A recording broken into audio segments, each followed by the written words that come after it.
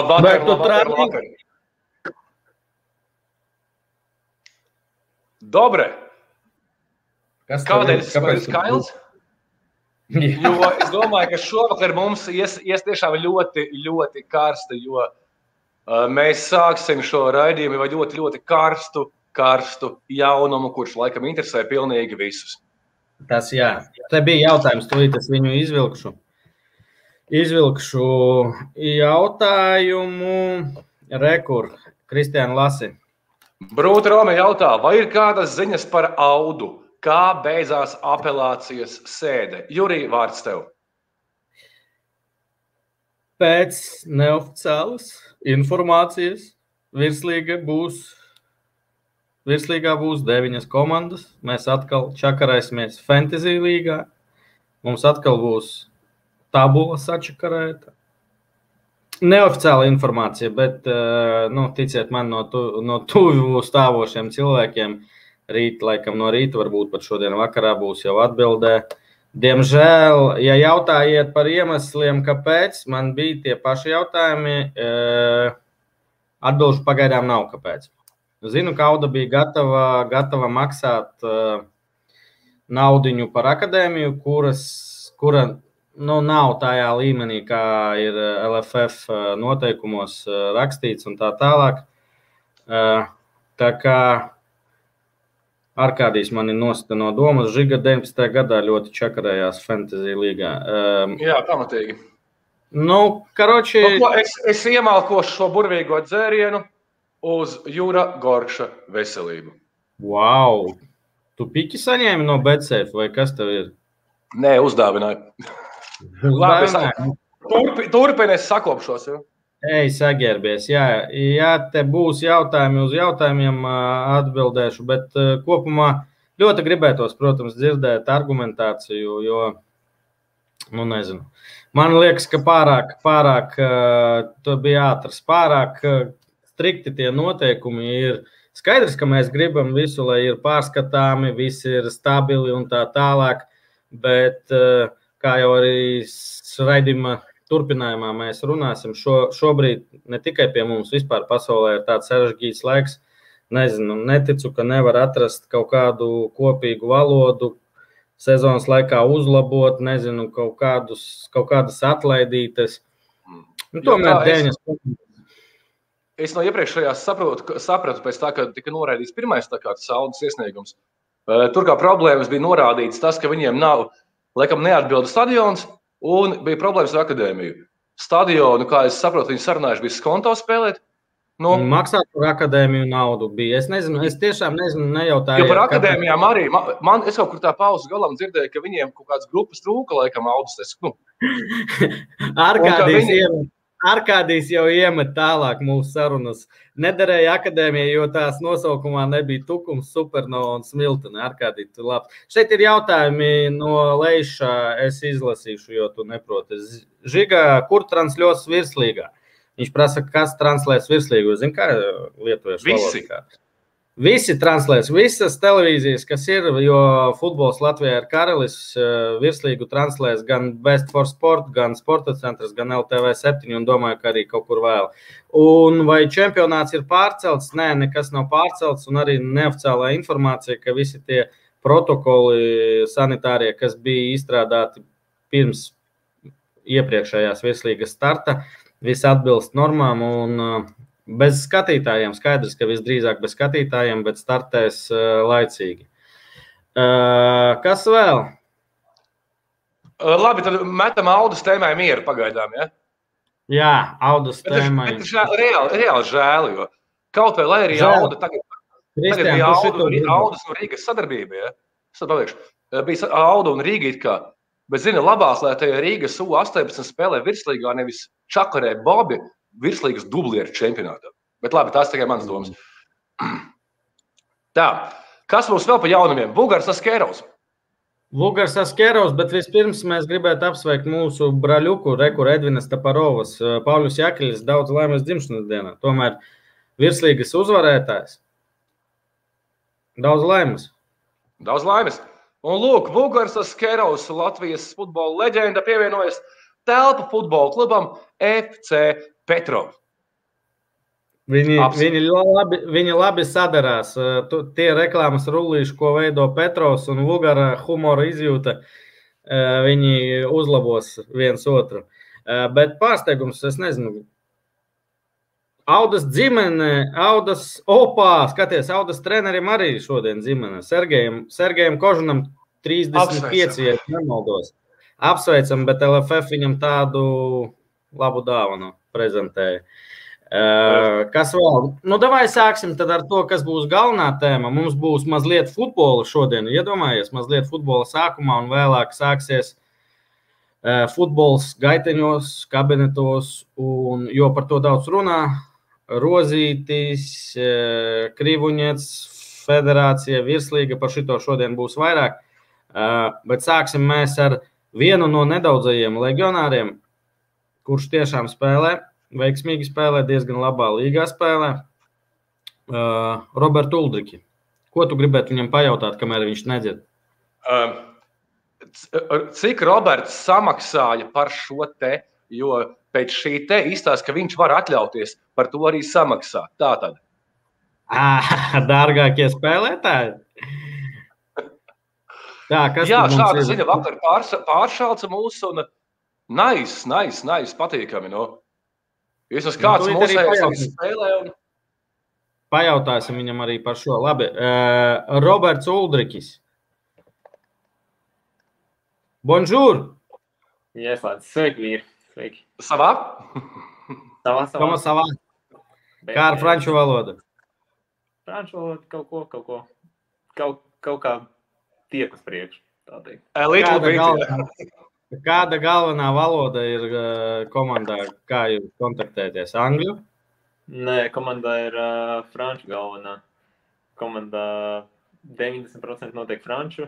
Tad tad ir itāļu treneris, vairāk itāļu spēlētāji, vācu, angļu arī lielākā daļa zina. Bet tāda pamatdarba valoda ir franču. Nu, saprot, ko saka, ko runā treneri, vismaz uh, futbola terminus.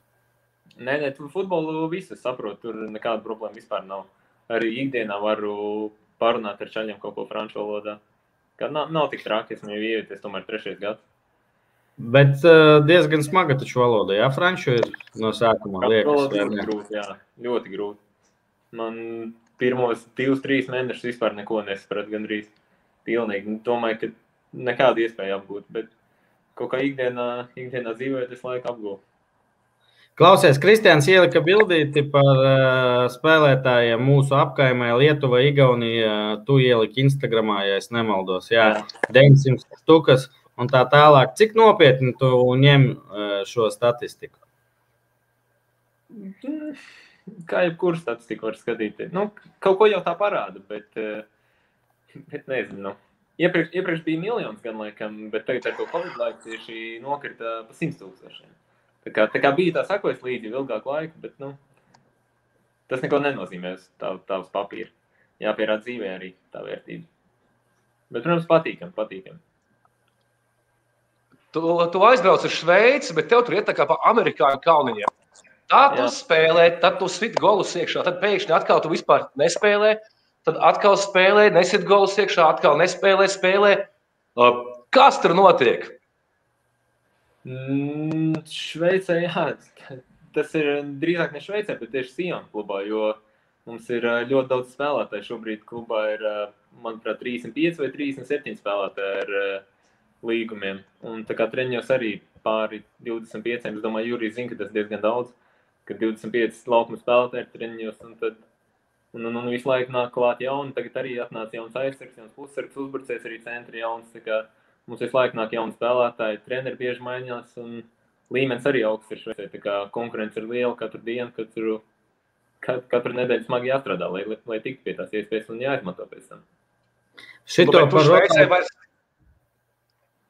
Redz, bet tu Šveicē vairs ne, nu, tieši savā klubā vairs neesi viens, jo klubam pievienojas arī Andris Vaņins. Šoreiz laikam gan ne spēlētāja amplitūdā, bet vairāk kā treneris.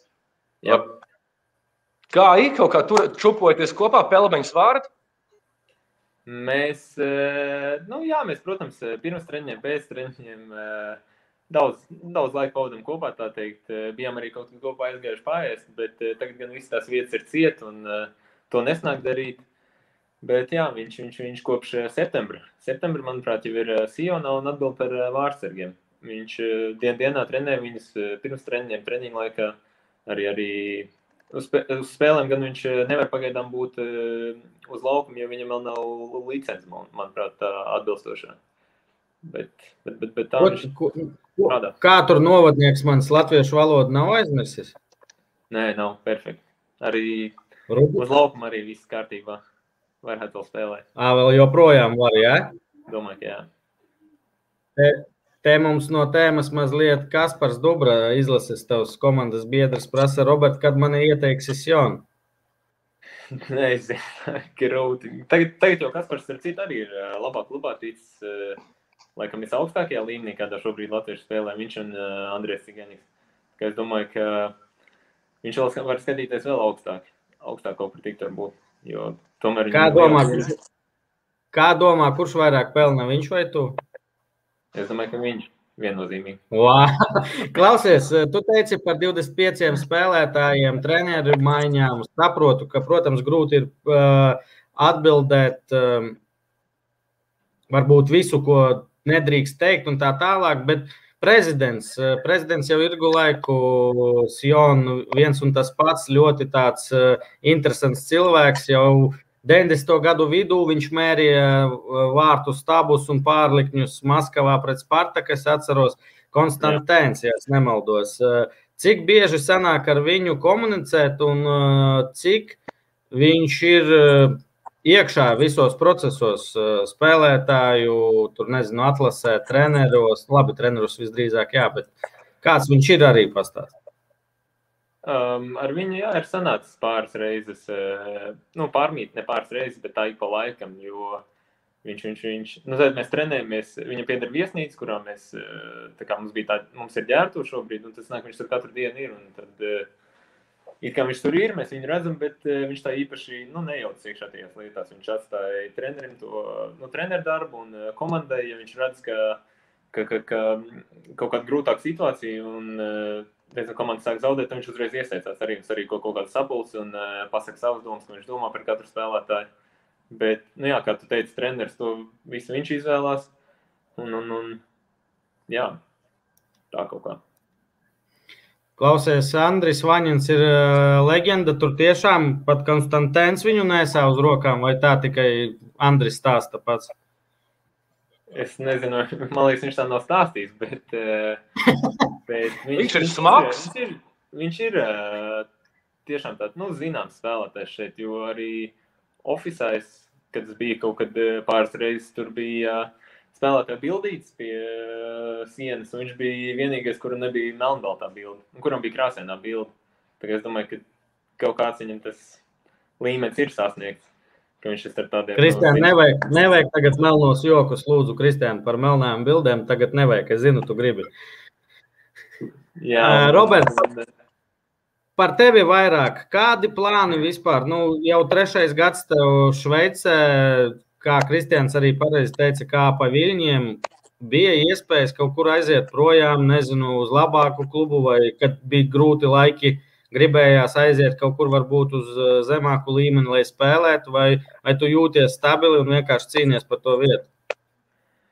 Um, Sionā, kā jau es teicu, ka katru transferu logu ļoti daudz uh, spēlētāju atnāk un aiziet. Un tad arī, un arī man bija, un arī tagad pat vēl ir arī kaut kāda varianta. Tur bija gan no augstākām līgām, gan arī no zemākām. Nu, varbūt klubs es neminēšu, bet bija gan no tagad uh, šajā transferu logā bija arī no Vācijas otrās līgas, no trešās, no Krievijas premjerlīgas, no vasarā bija no Championship vienas komandas. Tā kā Tā kā nu, dažādi līmeņi komandas kaut ko interesējās, bet, bet, bet eh, šobrīd esmu šeit un uh, citīgi strādāju dienas dienā, lai pierādītu sevi. Kristian, Vai tavs aģents vēl aizvien ir Askols?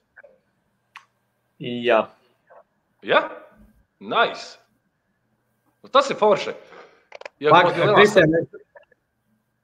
Agenti ir dažādi. Agenti ir tie, kuri ņem naudu no klubiem, kad, eh, kad eh, notiek deals. Vai katru Nu, mēnesi tu- ņem, ka- katru mēnesi ņem no spēlētāja algas? Kāds ir Askolts? Viņš katru mēnesi prasa tev 10% vai viņš jau paņēma no Sionas? Nē, viņš uh, neprasa man. Du, du, Dubra varbūt komentāros nepiekritīs tam. Uh, bet nē, viņš, viņš, viņš, nē. viņš tikai grib, lai man ir uh, pēc iespējas labāk viss. Un, kā tur nav nekāda problēma. Ja Skaidrs, viņš, viņš, viņš, ja viņš iekārtos man labā klubā un uh, labu līgumu dabūs arī. Viņam viss būs kārtībā. Un mammai. Un visai ģimenei. Klau, šodien mums, kā jau zini, lielā tēma būs par legionāriem. Tev bija ceļš tāds, ka Alberta, tu esi Alberta audzēknis, pareizi? Tad tu aizgāji uz metu, no metas Konto. Uz konto. uz konto, aizpār arī aizmirst par konto, uz konto, RFS un tad Šveice, pareizi? Nē, sākumā bija Alberts, tad skonto un tad met uz virslīgu. Ā, otrādi, ok. Un no RFS Klausies, Jā. jautājums tāds, tu tomēr pierādīji sevi daudz maz virslīgā, un tad tu gāji projām. Daudzi runā par to, ka jaunam spēlētājam jābrauc nu, jaunākā vecumā, vēl virslīgā nespēlējot uz akadēmijām un tur izsisties.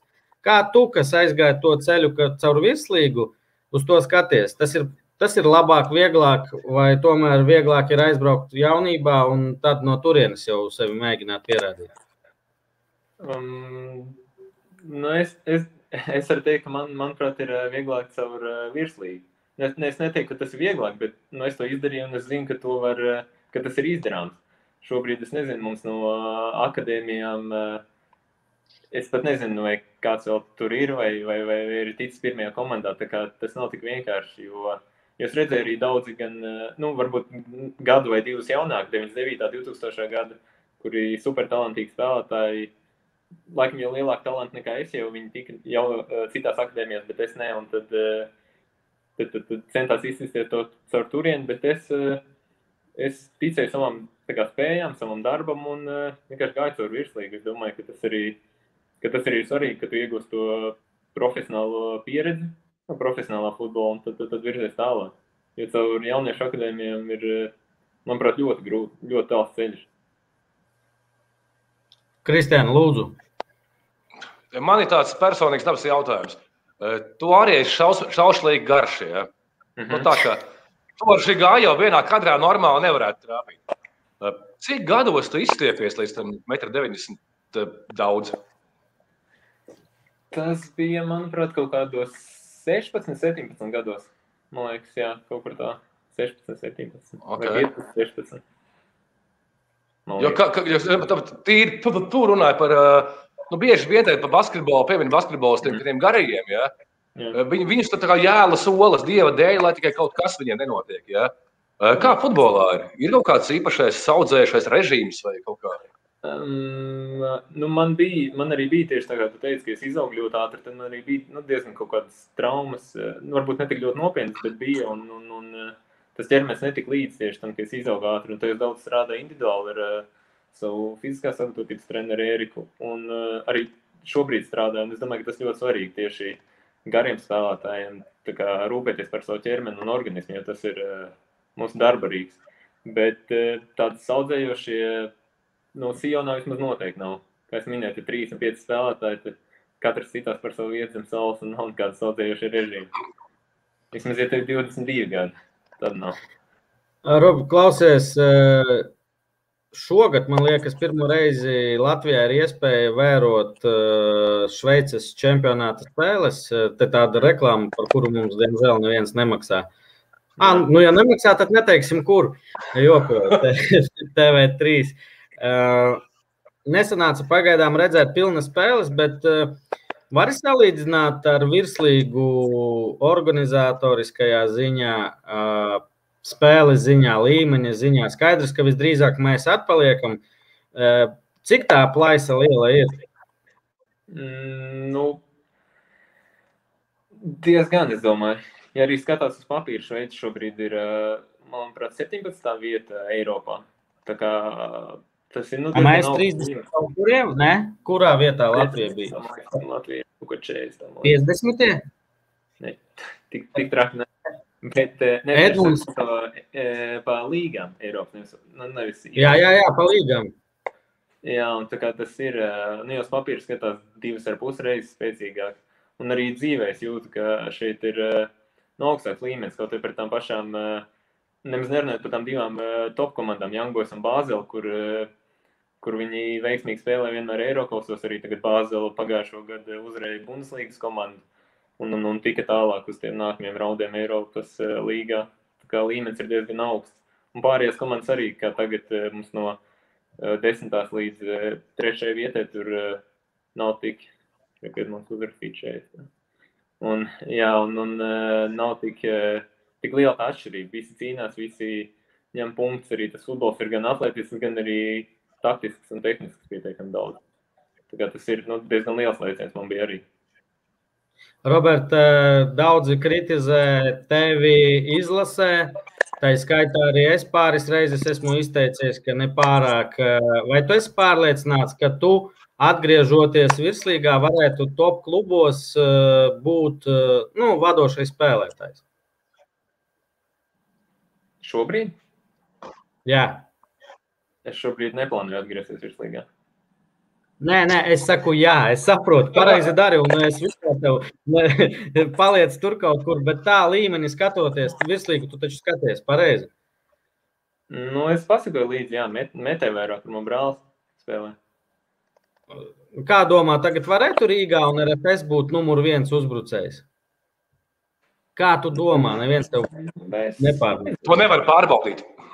to nevar pārbaudīt, jā, bet es domāju, ka varētu viņam, jā. Es tā domāju, jā. Pieredzīte jau arī sakrājusies, jo aizbraucot projām RFS sastāvā, tu biji tāds otrs uzbrucējs, bet kurš bija ļoti rezultatīvs un forši iznāca uz maiņām. Te Krīgers jautā, Kristiāna izlasi.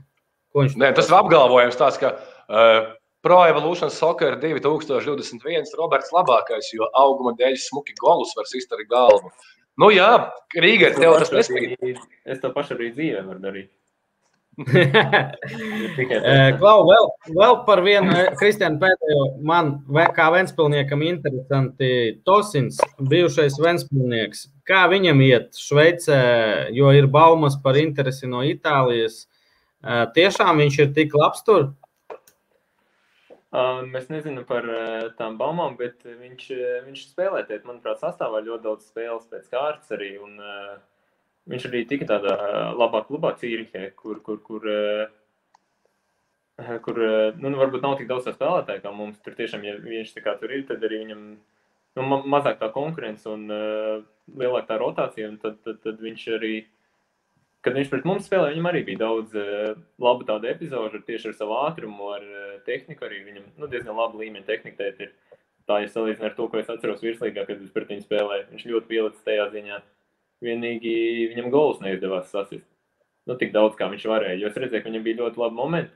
Es domāju, viņš iestīs vēl nu, pāris gols, cik pāris kāds 5, 10 gols, tēt, piemēram, līdz gada beigām. Es domāju, tas pavisam reāli pāriet uz Itāliju vai uz Vāciju vai kaut kur no Šveices. Kristiāna Edmunds uh, saka, no, Edmunds apgalvo, ka nu, Šveices uzbrucējiem Šveices superlīgā ir parodcija, jo tā ir ļoti rezultātīva līga.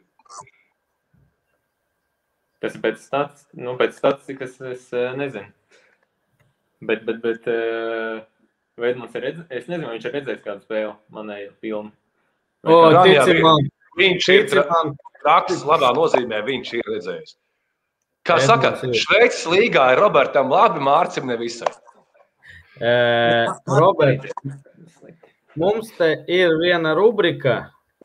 Jā. Viņai nosaukums Pagad, ir. Pirms viņas, pirms viņas, stop, stop. Pagad, no, es, es, es sākšu, ja? Es iesaldīšu šai rubrikai. Manis tev kompliments, Robert, par to, ka tu ļoti labi runā. Vai, un, kā zināms, tavs tēvs ir žurnālists, kaut kādi mēdīju treniņi tev bija? Ko teikt, ko neteikt, kā komunicēt? Mm, nē, nu, kaut, kaut kad jā, kad es biju jaunāks, viņš, protams, man pateica, ko un kā teikt, bet uh, Viņš saka, lai es vienmēr saku, kā es, eh, nu, ko es domāju, vai, vai, vai nevajag tās kaut kādas standarta frāzes teikt, jo tas vienam pirmkārt nav interesants, un tas arī neko nepasaka par mani, kā, nu, kā, kā personību vai futbolistu. Labāk teikt, kā, ko tu domā, tad arī nu, ne, nebaidīties būt atklātam. Kas man tāds - Roberta, kā domā, tu biji atklāts un kā domā, tev tās čivāvos uh, neatmeta tavas mazliet izredzes spēlēt izlasē pie Stojanoviča? Mm, es nezinu īsti. Nu, pēdējā spēlē viņš man izlaiž pret Austriju pamatsastāvā. Mēs uzvarējām arī. Kā, varbūt, varbūt man tas bija sliktāk. Jā, ja es nebūtu varbūt kaut ko pateicis, varbūt eh, vairāk spēles būtu nospēlējis. Bet es, es nedomāju, ka tas kaut ko ietekmē. Tev bija saruna ar Slavišu pēc tam čivāvām kaut kāda? Mm, bija vairāks, jā. Okay. Rubrika Dainis bija par to vairāk, ko sagaidi no izlases. Tagad jau martā pirmās spēles, vai ir runājis ar tevi treneris, vai sagaidi izsaukumu, un kādas domas pēc šī, nu, es atteikšos teikt, neveiksmīgā cikla nāciju līgā, uz ko vispār cerat par ceturto vietu, kas ir nostādīts kā mērķis. Padalies lūdzu ar savām sajūtām un domām. Um, es, jā, es skatos pozitīvi uz šo, uz šo, šo jauno ciklu. Jo, kā jau es minēju, jau uzreiz pēc izlases es sazinājos ar kādu uh, žurnālistiem kā, no, no sporta centra. Laikam. Uh, nezinu, vai var teikt, vai nevar šeit teikt. Bet, uh, Uh, jā, man arī prasīja tieši, kā, kā es skatos uz to. Es, es, es arī tā teicu, ka es skatos ļoti pozitīvi uz to, ka vajadzētu. Man, man būtu tāds mērķis izcīnīt vairāk punktus nekā šajā iepriekšējā Nācijas līnijas turnīrā. Tas būtu tāds mans personīgi, nu, komandas arī varbūt tāds, ko mēs varētu uzstādīt. Vairāk punktus nekā Nācijas līnijā un pašam arī personīgi tikt pie lielāka spēles laika un vairāk reizes iziet sākuma sastāvā un gūt vairāk vārdu. Es skatos mm. ļoti pozitīvi. Spēcīgas izlases būs pretī un labas spēles. Bet tā nāciju līga deva jums tādu pārliecību kaut kādu vai, vai nepārāk? Es nezinu pat īsti. Va, varbūt jā, kaut ko deva, bet uh, šobrīd es neesmu tā domājis, ka izlasīju godīgi ilgu laiku. Tad, kad, tad, kad rudnī bija tās biežās spēles, tad jā, tad bija tā, ka sanāk uz izlases atbraukt, atbraukt atpakaļ klubā, un tad, tad, tad tā, tā pārliecība mainījās daudz. Bija tāds sajūts. Teikt. Pēdējais jautājums no manis, un tad Kristianam dodu. Konkurē izlasē pārsvarā ar Vladislavu Gutkovski.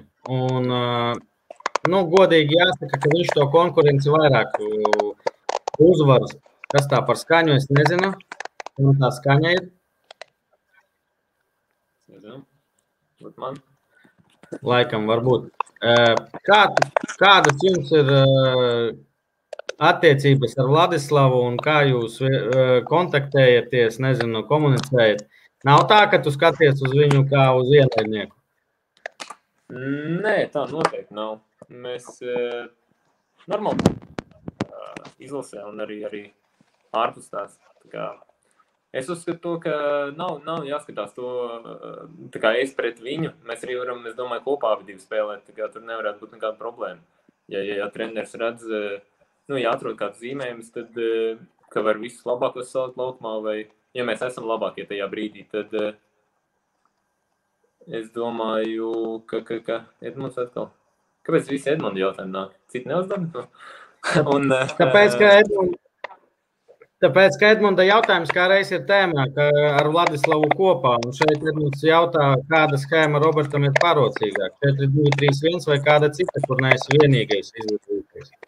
Es domāju, ka jebkāda schēma to arī es parādīšu Sionā, jo šeit Sionā, kā jau minēju, mainās tie treneri un spēlētāji, un mēs esam spēlējuši gandrīz visās iespējamajās uh, schēmās, un uh, arī es esmu gan lab, labs spēles aizdījis, gan arī guvis daudz vārds uh, jebkur, jebkurā schēmā. Šobrīd arī mēs pēdējo spēli spēlējām ar, nu ne pēdējo, bet pēdējās ar 5-2-3, ar trim centru uzbrucējiem vai diviem vai vienu vienalga. Es domāju, ka ka, ka, ka man nekādas grūtības nesagādāja ar diviem arī. Mēs esam spēlējuši ar diviem nu, garajiem, nu, ne tik gariem kā mani, otru, bet, eh, bet, bet, bet arī liela auguma spēlētājiem man nav bijis tā, nu, nekāda baigo problēma. Vai arī ar otru īsāku. Es domāju, ka tur uh, nav svarīgākais kādā schēmā. Mēs spēlējam svarīgākais, ko mēs darām uz laukuma. Pareizi. Kristiāna, ir vēl jautājumi? Es laikam sākšu, mums vienkārši jāiet uz priekšu. Es sākšu ar jautājumiem, atziņām, kas bija no komentāriem. Kaspars izteica tādu komplimentu laikam, ka jums smukas formas, tādas kamuflāžas. Ja? Ja kāds nezina, es speciāli pat atradu. Ja?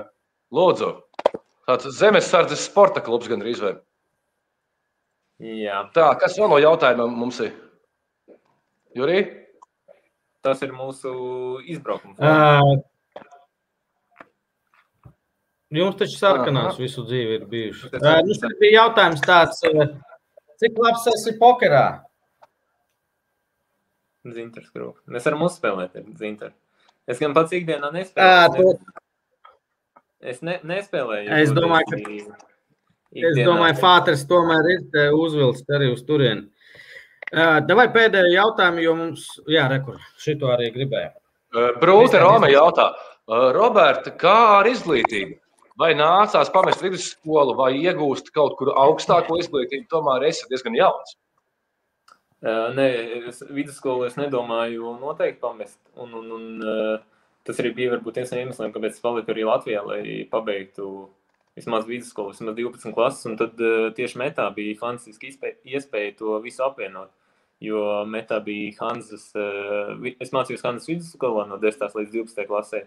Un tad tieši tur bija treniņi, blakus Olimpiskais centrs, baseins, uh, treniņģeru zāle, viss, ko vajadzēja. Un tas nāca uh, no rītiem uh, patrenēties individuāli, tad aiziet varbūt uz skolu, vienalga vai papusdienot vai pamācīties.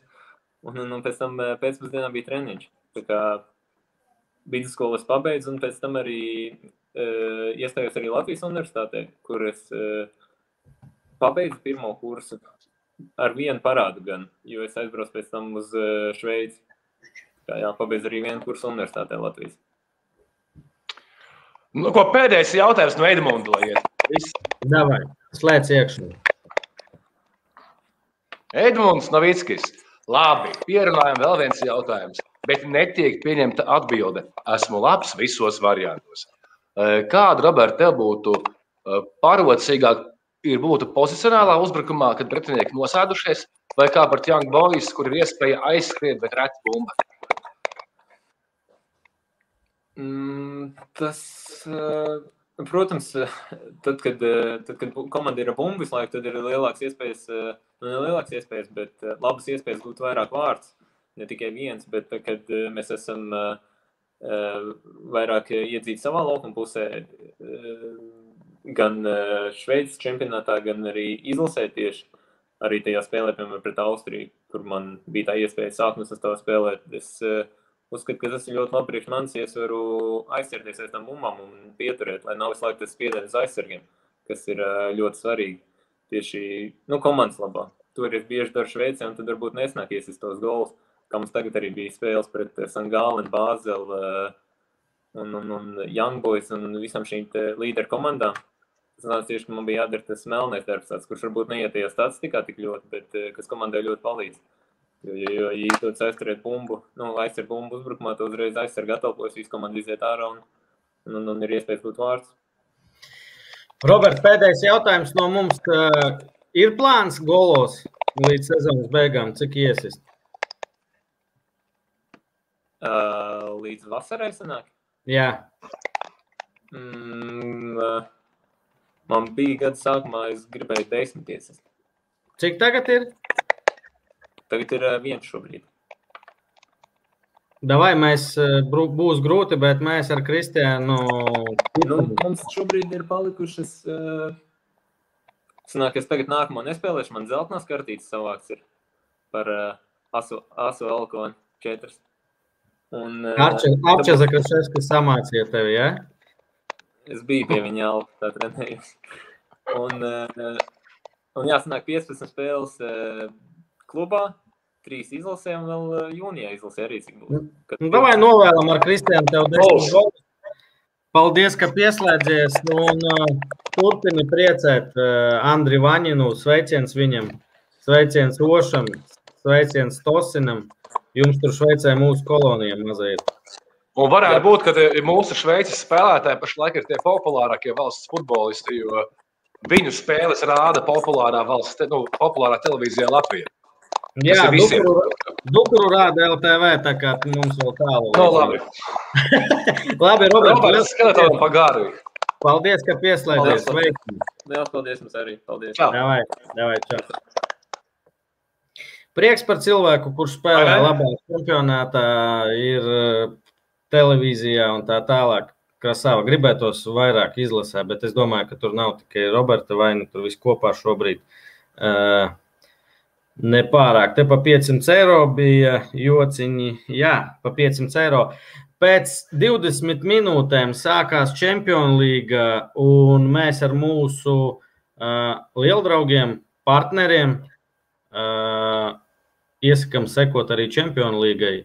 Tiekamies pēc īsas pauzītes. Ai, februāris! Tas ir mēnesis, kad gaisā no jauna uzvirmo tā sajūta. Tas ir mēnesis, kad mana sirds no jauna piederēs līgai. Patiesībā divām līgām - Čempionu līgai un Eiropas līgai. Vai Minhenes Bayerns uzvarēs otro gadu pēc kārtas Čempionu līgā? Vai Tottenham apliecinās favorīta statusu Eiropas līgā un uzvarēs tajā? Kādi būs spēļu iznākumi? Kurš būs uzvarētājs pirmajā puslaikā? Cik vārtus gūs abas komandas kopā? Katra atsevišķi vai negūs vispār? Stūra sitieni! Soda sitieni, 11 metru soda sitieni un tā tālāk. Visiem, jā, visiem jaunajiem BCM klientiem iespēja iegūt 50 eiro bezriska likmes.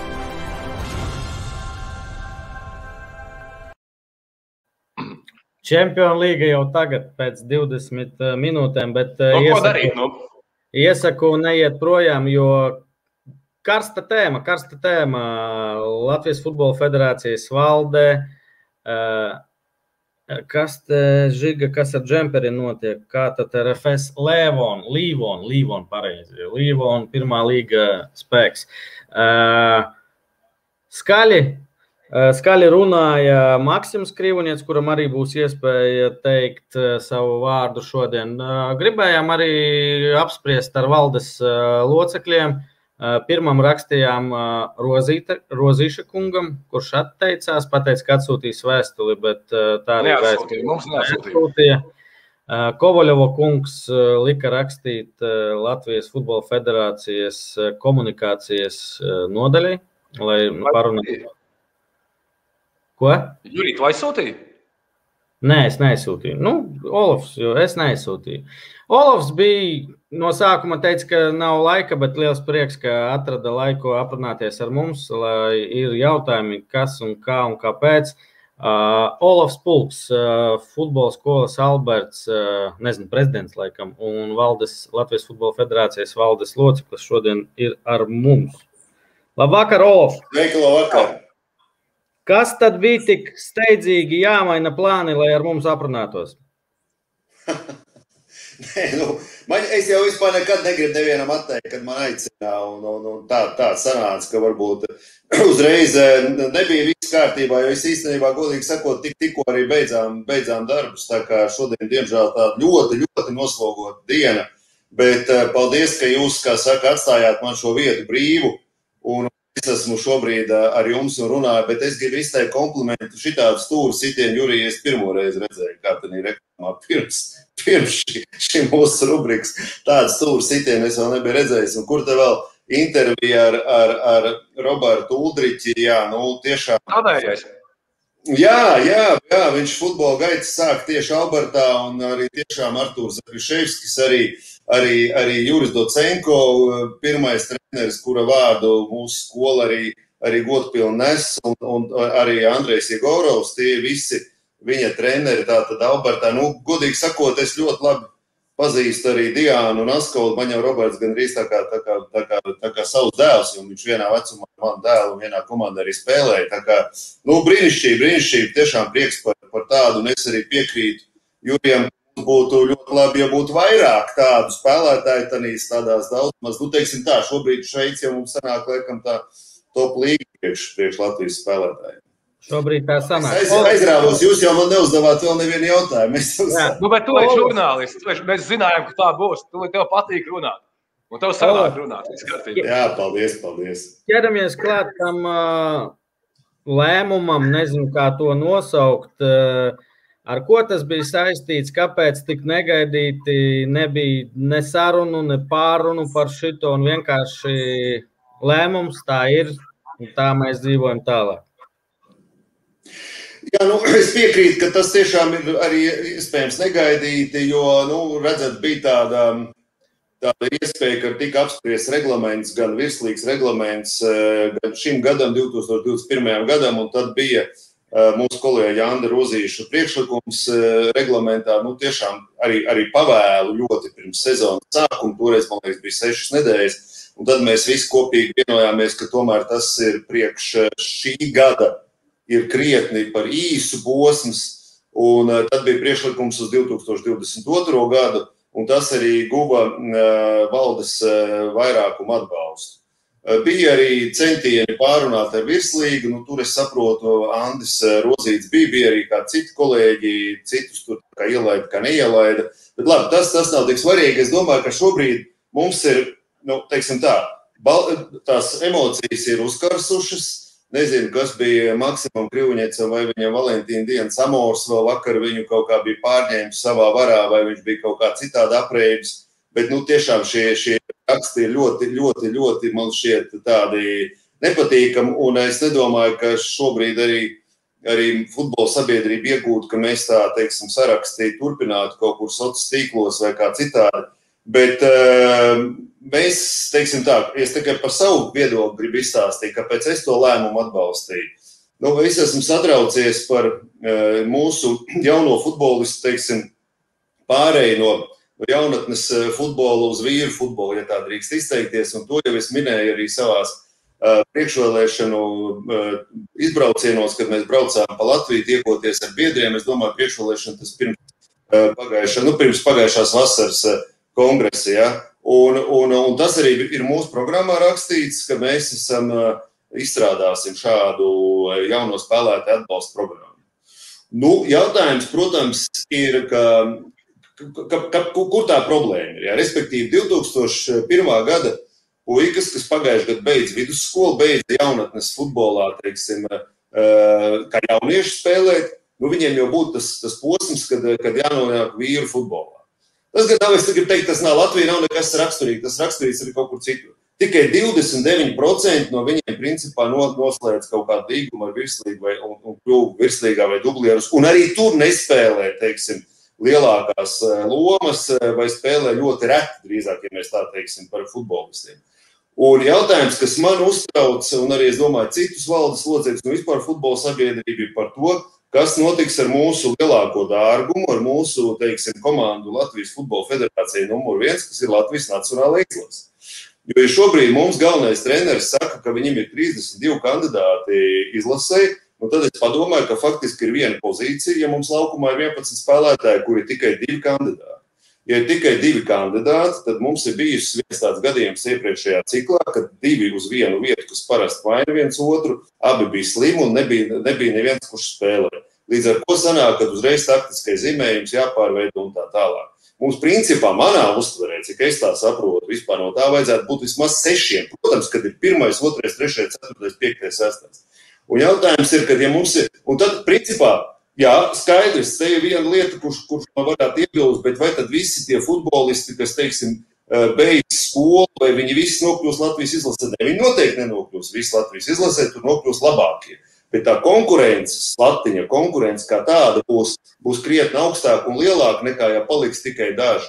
Un te ir viens piemērs arī par Mārciņu Ošu, kas, Ošu, kas tika pieminēts šo spēlēs nevienā Latvijas jaunatnes izlasē. Nevienā Latvijas jaunatnes izlasē. Principā, ja pēc šodien pieejam pēc tām mērauklām, kāda ir, kā tagad valda, ka tikai jāatbalsta tie, kas ir izlasēs, viņam nevajadzēja būt vispārējais futbolā, un viņam nevajadzēja būt Latvijas izlasē pavisam noteikti. Kāds Pagad, Olaf, es liekas, U21 tikai sāks. Okay, Olaf, es tev pārtraucu.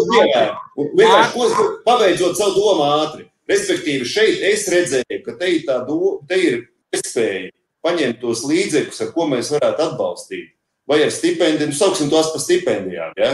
vai kā citādi, lai tie spēlētāji paliktu futbolā. Jo šobrīd ir kā, ja viņš pabeidz skolu un viņam nav, teiksim, šī profesionālā līguma, viņam draud, ja ģimenei pieņemsim, nav līdzekļi.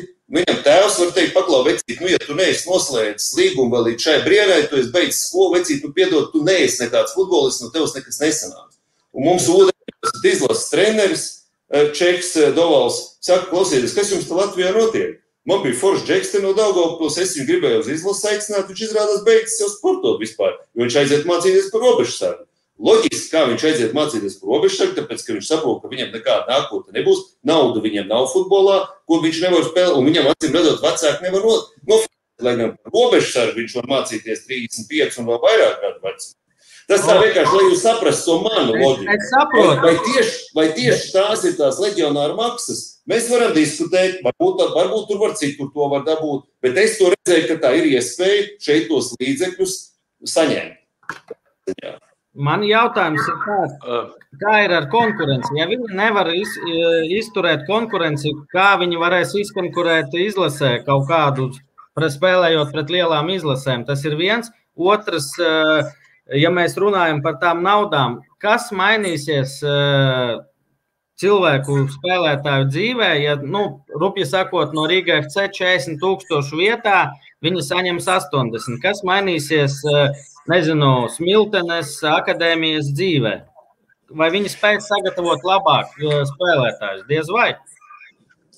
Uh, nu, es, es godīgi sakot, vispār negribētu pieminēt nevienas akadēmijas vārdu, jo tā kā es to redzu, to sistēmu, bet vispār mēs šodien, nu, teiksim tā, es esmu aicinājis arī federācijas valde vērsties administrācijā, lai administrācija izstrādā nolikumu un noteikumus, kā mēs vispār varētu atbalstīt šos, šos futbolistus. Es neredzu, ka tā nauda aiziet kādā akadēmijā vai kādā klubā. Es redzu, ka tā nauda ir konkrētam futbolistam, konkrētam jaunietim. Un tad jau, vai viņš, teiksim, ir vienā vai otrā klubā, tas jau vismaz manā skatījumā ir otršķirīgi. Kā tie noteikumi būs pieņemti, to es nezinu. Tas jautājums, ko tu ja, pa, pamatot prasīji, ja jau viņš nevar iekļūt 19 gados, vai ir garantija, ka nosacīt viņš 22 vai 23 gados būs tāds, ka viņš konkurēt spējīgs? Nē, tāda garantija nav, bet iespēja gan ir. Jo redziet, kas ir lieta, un te es negribu pārmest arī virslīgas klubiem neko. Viņi grib rezultātu šobrīd, īpaši tie, kas steidz, sniedzās pēc tiem Eiropas kausiem. Un tad visticamāk, ka 19-gadīgais vietējais jaunietis laukumā būs nu, kaut, kaut kādā veidā, ja, ja viņš, protams, nav Roberts Ulrichs. Ja, var, nebūs tik labs, kā teiksim, kāds leģionārs, ko viņi nopirks, kuram ir 25, 27 gadi, teiksim, pilnbriedā, spēcīgs, var spēlēt ar pirmo minūti, nevis, ka, teiksim, viņš vēl taustās un un meklē savu. Jūs jau to labāk par mani zināt. Olof, es saprotu, bet paklausies. Kāpēc es vienkārši gaidu, ka tad, un tad tas mirklis būtu, ka viņš vēl ir futbolā, ka viņš nepazūd. Un varbūt, ka viņš 23 gados Mārcis Sošs izšaus, teiksim, kaut kā tā es to okay, tas kāds, ir mans skat...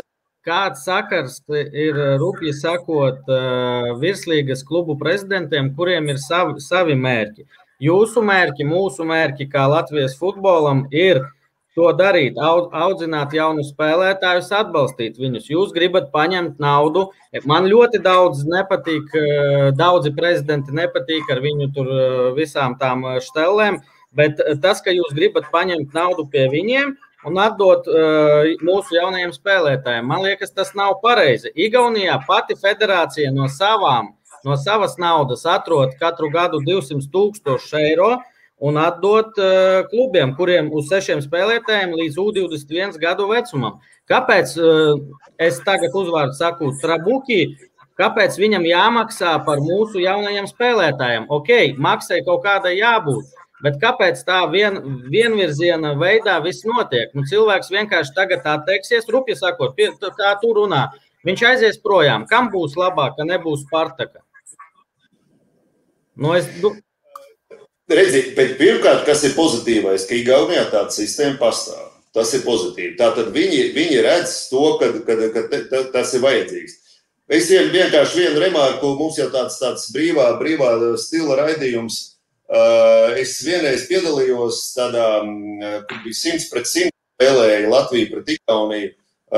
Saimnes komandā es gan neesmu saimnes deputāts, bet mūs tur uzaicināja arī politiķus piedalīties. Un mēs spēlējām Staicelē pret Igaunijas uh, deputātiem. Mēs viņiem zaudējām.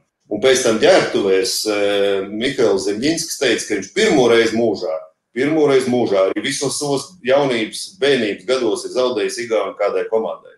Un ko es ar to gribu teikt, ka principā Igauni mums ir futbolā, diemžēl man jāsaka tagad tā, ja? ne jau par politiķu spēli es runāju šeit, bet mēs arī U21 nevarējām viņus uzvarēt pagājušajā ciklā. Un viņi, diemžēl, mums ir priekšā Tur, tur, ir, tur ir vairāk citi jautājumi, arī par infrastruktūra ieguldīšanu, gan, bet arī šis, teiksim, acīm redzot, tas atbalsts tiem jauniem spēlētājiem ir pietiekoši būtīgs. Par trabuki un par pārējiem.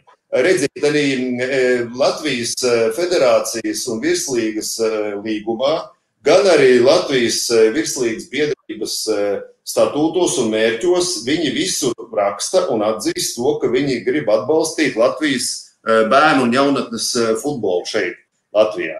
Jā. Otrakārt, es gribu teikt, nevienam nav netrabuki, nekā cita. Vispār nevajadzētu uzvārdus minēt, es atvainojos, ka es to minu. Ja? Nav jau nekur spiests Neviens jau viņam neliek, teiksim, 8 vai 15 ārzemniekus vai cik tur, cik tur teiksim, tos, tos speciāli arī, nu, kā saka, laist laukumā. Tā jau ir viņa individuālā izvēle. Olaf, nu, bet, Olaf, bet mēs nonākam pie tā, jo liek viņš tos, kas ir stiprāki un kurus reizes pārdot. Un kā, paski man kādā veidā maksas palielināšana palīdzēs saražot uh, tos izlases kandidātus? Es to redzu kā iespēju, ka mēs noturam šos jauniešus futbolā, un tā būtu viņiem stipendija. Es piekrītu, ka ir varbūt arī citi avoti, varbūt arī citi avoti, naudas finansiālie, bet es pašlaik redzu, ka tie ir tur. Ja, ja mēs teiksim, vienojamies, un valdē būs vairākums, kas teiks, bija tur priekšlikumi, es esmu dzirdējis no, no, no virslīgas pārstāvjiem, kur citur to naudu, teiksim, līdzekļus var paņemt. Runājam par to. Šis jau nav kaut kāds, teiksim, akmeni iekalts, ja, bet nu, jautājums bija, ka es redzēju. Tad... Ja, jautājums skaidrs, Kristian, pēdējo no manis. Jautājums skaidrs, un jautājums bija 8 plus 3 bija, bija noteiktas maksas, kuru klubi visu izmaksāja, kur uh, dabūja lielāko daļu, kā, kā pienākās futbola klubs Meta, futbola klubs Daugopils un citi. Viss bija kārtībā, un vienā brīdī uh, jūs izdomājat to pacelt. Kur ir garantija, ka pēc gada jūs nepateiksiet, ka 10 tūkstoši pa legionāriem ir? Nu, garantijas jau, jau nav nekādas. Teiksim tā, pieņemt pie lēmums var tāpat, kā mēs pieņēmām šo. Nu, teiksim tā, ir jābūt kaut kādai, kaut kāda, nu, ko nozīmē garantija. Ja? Pirmkārt, mums tā programma vēl nav palaista, jauno spēlētāju atbalsta programma. Otrakārt, eh, mēs arī neesam izstrādājuši to nolikumu un noteikumus, eh, kā šos līdzekļus eh, teiksim, sadalīt jauniem spēlētājiem. Treškārt, un to es esmu teicis arī, arī valdes locekļiem, mans personiskais viedoklis.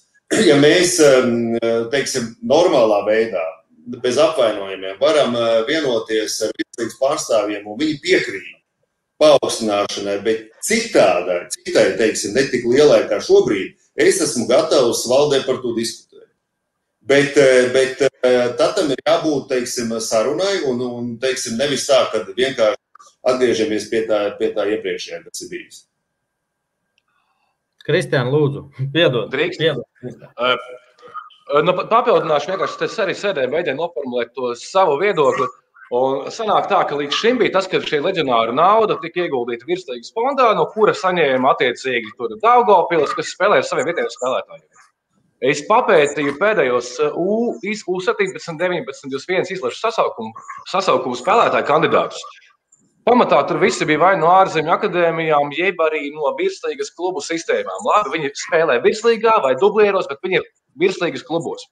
Un tur nebija pilnīgi neviena uh, pirmās līgas uh, komandas spēlētāja. Uh, man radās tāds jautājums par to, ka vai palielinot, nomulsināja, ka palielinot šo summu, kas ir leģionāriem, ok, lai, lai maksāja, var maksāt, lai maksā. Bet tas, ka konkrēti tika pieņemts lēmums par summas palielināšanu, bet nav jau plāna vēl pagaidām, kur to naudu likt. Tas no sērijas dabūsim naudu, tad domāsim, ko darīt. Un, uh, Vēl, vēl cilpojot pie tā, ka šie spēlētāji, nu, jaunieši, laikam, tad viņi visi nokļūst agrā vecumā jau virslīgas klubu sistēmās. Un te jautājums, Olaf, tev kā Alberta priekšniekam. Droši vien jums arī ir ļoti talantīgi jaunieši, jauniešu vecumā, nu, kaut kādi U14, U15 un 16. Kurā brīdī viņi no, no Alberta talantīgie džeki aizdrēpē projām uz virslīgas komandas sistēmām? Šis ir arī ļoti sarežģīts jautājums, jo, jo katrs gadījums ir, ir, ir atšķirīgs. Katrs gadījums ir īpašs, te nav tāda viena recepte. Es tiešām varu, varu teikt, nu, tikko Roberts, kur, kur teiksim, runāja, viņš bija pie mums, tad viņš bija skonto, tad pēc tam metā, ja, tad RFS tagad ārzemēs. Ja. Un, un ļoti veiksmīgi, nu, pagaidām vismaz pietiekoši veiksmīgi ir attīstījusies šī viņa karjera. Ja. Ir, mums, ir mums puiši, kas aizgājuši 13 gados uz Vēnspili un, un, un citām, kad Vēnspilī bija tā akadēmija. Un, un, neiz, un vienam otram neizveidojās šī, teiksim, apraujās tā futbolista karjera. Jo tur ir, redziet, tur, tur, ir, tur ir, tāpēc es vēlreiz saku, tas varbūt iznāks pārāk tāds, nu, garlaicīgi atbild, bet, diemžēl, es nevaru šeit pateikt, nav tādas vienas receptes. Jo ir pat bijis tā, ka mums kaut kāds puisis, kas mums liekas, o, šis būs lietas koks, viņš aiziet kaut kur citur, viņš pazūd. Citādi arī ir bijuši otrādā gadījumi. Ja? Tā kā te ir treneru pieeja, te ir klubu pieeja, te ir kā viņi teiks, iekļaujās jaunajā tanī, teiksim, sabiedrībā un tā tālāk. Tā kā, tā kā, nu, bet es negribētu tev piekrist par tiem jauniešiem. Man liekas, ka, cik es zinu, arī no, no Alberta ir jaunatas izlasēs bijuši, bijuši mums dalībnieki. Tā kā nav tā, ka no pirmās līgas nav. Bet, nu, loģiski iespējams, ka tas pat ir loģiski, ka arī no virslīgas ir vairāk, jo, jo, nu, ir piedāvājumi un arī, arī teiksim, tā, tā, tā cenšanās Tur, nē, reizes tā, man jau arī nav iebildumi, ja tas notiek. Ja? Bet sliktāk ir, ja tas džeks aiziet uz kādu, pieņemsim, klubu, kas nosacīti tur, tur nu, vai, vai, vai tādīs citās pa pirmajām vietām vai ko, un ja viņš tur nespēlē. Jo man, ja man būtu tik vienam ieteikums, labāk, tad, teiksim, vecākam, vai kur tur saka, nu, mēs gribam spēlēt, tur tā, tur labāk akadēmija, viņiem tur medaļas dod un tā tālāk. Nē, nu, ja tu spēlēsi tur pie viņiem un medaļas saņemsi, tad ir forši. Bet, ja tu tur aizies un sēdēsi uz soliņa, tad nebūs labi. Ja? Jo Olaf, jauniešiem ir jāspēlē, Olaf. jauniešiem nevajag jāsēdēt uz soliņa. Olaf, bet tā ir konkurence jau no pašiem agriem uh, gadiņiem, cilvēkiem. Ja tu esi la- labs, tu spēlē jebkuru. Varslavāns šobrīd visu uh, pirmssezonu nospēlē RFS. Te ir uh, jautājums, ka mēs nespējam sagatavot šobrīd uh, labus jaunus spēlētājus. Nu, ja pat uh, labākās, un tagad tikai to akadēmijas, akadēmijas spēlētājus arī pārdot un pāriet. Metas Mihelsons, kuru visi nezinu, mīl, nemīl, bet viņš saka, ka nu, ar naudu nav nekāda sakara. Tie 40, 50 tūkstoši nepalīdzēs. Nu, rupji sakot, jā, jāstrādā vairāk un vienkārši kvalitatīvāk. Nu, tiešām, nu, Olaf, mēs nerunājam par uh, uzvārdiem, vārdiem, bet supernovas audzēkli tu man vari nosaukt, kas ir pirmajā līgā. Uh, Pagaidiet, bet es gribu drusku par to. Es ceru, ka Varslavāns spēlēs arī sezonā, ne tikai pirmssezonā. Jo- Mm, Ok, skaidrs, ja Es viņš ļoti viņam, es ļoti viņam arī novēlu spēlēt. Paga, Olaf, tu domā- no, domā- novēlu spēlēt pietiekoši ilgi, nevis kaut kādu minūti, kad jau spēles liktenis ir izlēmts. Paga, Olaf, tu domā, ka Viktors Moros speciāli neliek Varslavānu, jo viņš ir latvietis? Nē, nē, nē, es tā neesmu nevienu mirkli teicis. Es domāju, ka Viktors Moros droši vien, ka ik viens treneris eh, spēlē uz rezultātu. Un, un ja spēlē uz rezultātu, tad viņš liks laukumā tajā brīdī, kas, ko viņš uzskatīs, kas ir tajā pozīcijā vislabākais spēlētājs. Ja Tad, tad kur jautājums? Es tikai par to priecāšos. Es tikai par to priecāšos. Bet pastāsti, kur tad, nu, es nesaprotu, tagad bija 43,080, 40,000 no vienas RFS rupji sakot, kā izglābs tas situāciju? Pasakim, man. Nu, bet šobrīd jau mēs nemaksājam stipendijas jauniešiem. Nu, bet kam, kam, kam okay, Šobrīd- eh, ir Šobrīd, mēs nevar- šobrīd mums joprojām ir tas, ko es teicu, 29% eh, nosacīti paliek tajā augšējā, un tad, kur pārējie mēs nezinām. Ja? Es domāju, ka mums vajadzētu paplašināt to loku, lai 2000, nu, tagad, 2002. gads, es nezinu, vai mēs paspēsim, viņi līdz skolu jau beigs, ja? bet varbūt tā, ka trešais gads, teiksim, absolvēs vidusskolu, tad mēs tur jau vairāk paplašināsim to loku, kas, teiksim, ir tādā apritē nopietni. Ja? Jo man arī, es, piemēram, ar vienu džeku, kas pie mums sāk runāt, viņš bija pie mums, eh, viņš bija, viņš bija vienā virslīgas klubā, ja tur ne, neno, nepalika sastāvā, un tagad viņš mācās eh, Stradiņu universitātē par ārstu. Viņš arī spēlēja pie mums, es saku, tu nepaliki tur, kāpēc? Viņš saka, nu, acīm redzot, jau, nu, zin kā, tomēr, tomēr eh, izglītība es tagad apgūšu, un tas būs labāk. Un jūs dzirdējāt no Roberta, nav tik viegli savienot profesionālo sportu ar, ar izglītību. Ja? Nevis, nevis cerēt, vai man paņems vai nepaņems. Tā šūpošanās, saprotiet, tas jau arī ne katrs to var, ne katrs eh, ģimene var arī uzturēt to mirkli, kas, kas teiksim, ir tā. Nu, a, varbūt, ka, viņš, varbūt, ka viņam tas, tas gads vai divi viņš nobriedīs vēl. Ja? Nu, Saprotiet, te, te tā doma ir, es varbūt negribu pieķerties, eh, mēs tagad visu laiku esam pieķērušies tam, tai, tai naudai. Es vairāk domāju par to, par to ideju. Nu, kā, nē, nu, kāpēc naudai pieķērās? Jo nu, tas bija, rupi sakot, bija spēles noteikumi, kurus es, es varu teikt, un visi zina, ka es biju arī toreiz, es biju pret 8 plus 3 šito sistēmu. Es biju par Eiropas Savienības uh, spēlētāju, var spēlēt bez, uh, bez ierobežojuma. Ko jūs, starp citu, par šito domājat sistēmu? Ne, nu, ko es tur daudz varu domāt? Tur jau ir tā Bosnāna lieta vai kas, un būtībā, ja juridiski kāds kaut ko vērsīsies, tas jau, es domāju, mēs nevaram arī nemaz arī uh, pieprasīt, lai, lai Eiropas Savienības pilsoņi būtu kādā citā statusā nekā, nekā vietēji. Tieši tā, un futbolam, tas Latvijas futbolam, par ko tu runā, tas nebūtu labāk nekā šobrīd. Tas ir viens, un otrs. Šitā, manuprāt, valdē rīkojoties galīgi un uz beigām iet kontakts ar virslīgas cilvēkiem, ambicioziem cilvēkiem, kuri ir pelna naudu, kurš biznesā, kurš vēl kādā veidā. Un mums sanāk atkal, ka šitā, rupi sakot, tas ir YouTube solovs, piedod, tā nav Rīgas doma. Šit, šitāda diršanās, un man šitas nepatīk. Un tad man jāstāsta par futbolu karali. Un uh, man tiešām sāp šis jautājums. Tāpēc uh, es neatbalstu šito, kas, kas notikās, jo varēja pagaidīt, bija trīs gadi. Uh, Es zinu, ka arī prezidents nav par. Un kas vispār ir uh, iniciators šitam uh, lēmumam? Lorija Matskevičs balsoja pret, man liekas, Nauris. Kurš pats ir virslīgas komandas? Jā, mums balsojums bija, mums bija 6 pret 3. Mums jau tas, tas protokols jau ir pieejams. Bet es negribētu teikt tā, ka nu, viens uh, nobalsoja pret šo konkrēto lēmumu projektu, bet viņš ir arī, arī vienmēr ir izteicies, ka viņš uzskata, ka ir jāpaukstina leģionāra maksa. Tur mums, mums šobrīd pat es neteiktu, ka valdē ir bijis kaut kāda pretruna par to, ka vajag paaugstināt. Jautājums bija, ka var. Nesakrīt viedokļi par to, par cik un kā to darīt. Man vispār vienalga, un cilvēki pareizi saka, ka rupji sakot, eh, nezinu, Lamakina kungam atkal bez uzvārdiem, ja viņiem ir lielas ambīcijas, ir spēles noteikumi, viņi maksās, bet nevar mainīt spēles noteikumus. Un tad man rodas jautājums, no kurienes parādās šīs. Un eh, kā tik ātri, nezinu, divu nedēļu laikā jūs izdomājat šo atbalstīt? Nē, nu šis jau, kas tas ir tāds? Ne, bet Tas ir sadalījums jau, jau kas? Jā, tā jau ir sadale 20. Sanāk, 20. gadā, kas bijusi. Nu, bet es jau teicu, ka mums sadala nav nekāda apstiprināta. Tas, acīm redzot, ir bijis kāds projekts. Mm -hmm. Tas bija projekts. Jā. Bet ir izdomāts, jūs, tūlīt, Kristēn, pēdējais, jūs runājat par šito summu pacelšanu, bet kā var nolemt to nu, lēmumu pieņemt, bet jūs pat nezināt, kā ar to naudu vēl joprojām rīkoties. Tu, tu ja nemaldos, pats teici, ka jūs vēl nezināt, kā to, kā to darīt un ko darīt. Kāpēc tad bija šis lēmums jāpieņem? Nē, mēs, es teicu, ka mēs neesam vēl konkrēti pieņēmuši noteikumus, kā tieši to sadalīt kuri, kuri kriteriji, kuri jaunie spēlētāji atbilst, cik teiksim, ir šī stipendija un tā tālāk. To mēs neesam izdarījuši. Varbūt, varbūt šito... Principā kā tādu konceptu, kā filozofisku pieeju, ka mēs atbalstam vietējos spēlētājus, tā jau ir atbalstīta.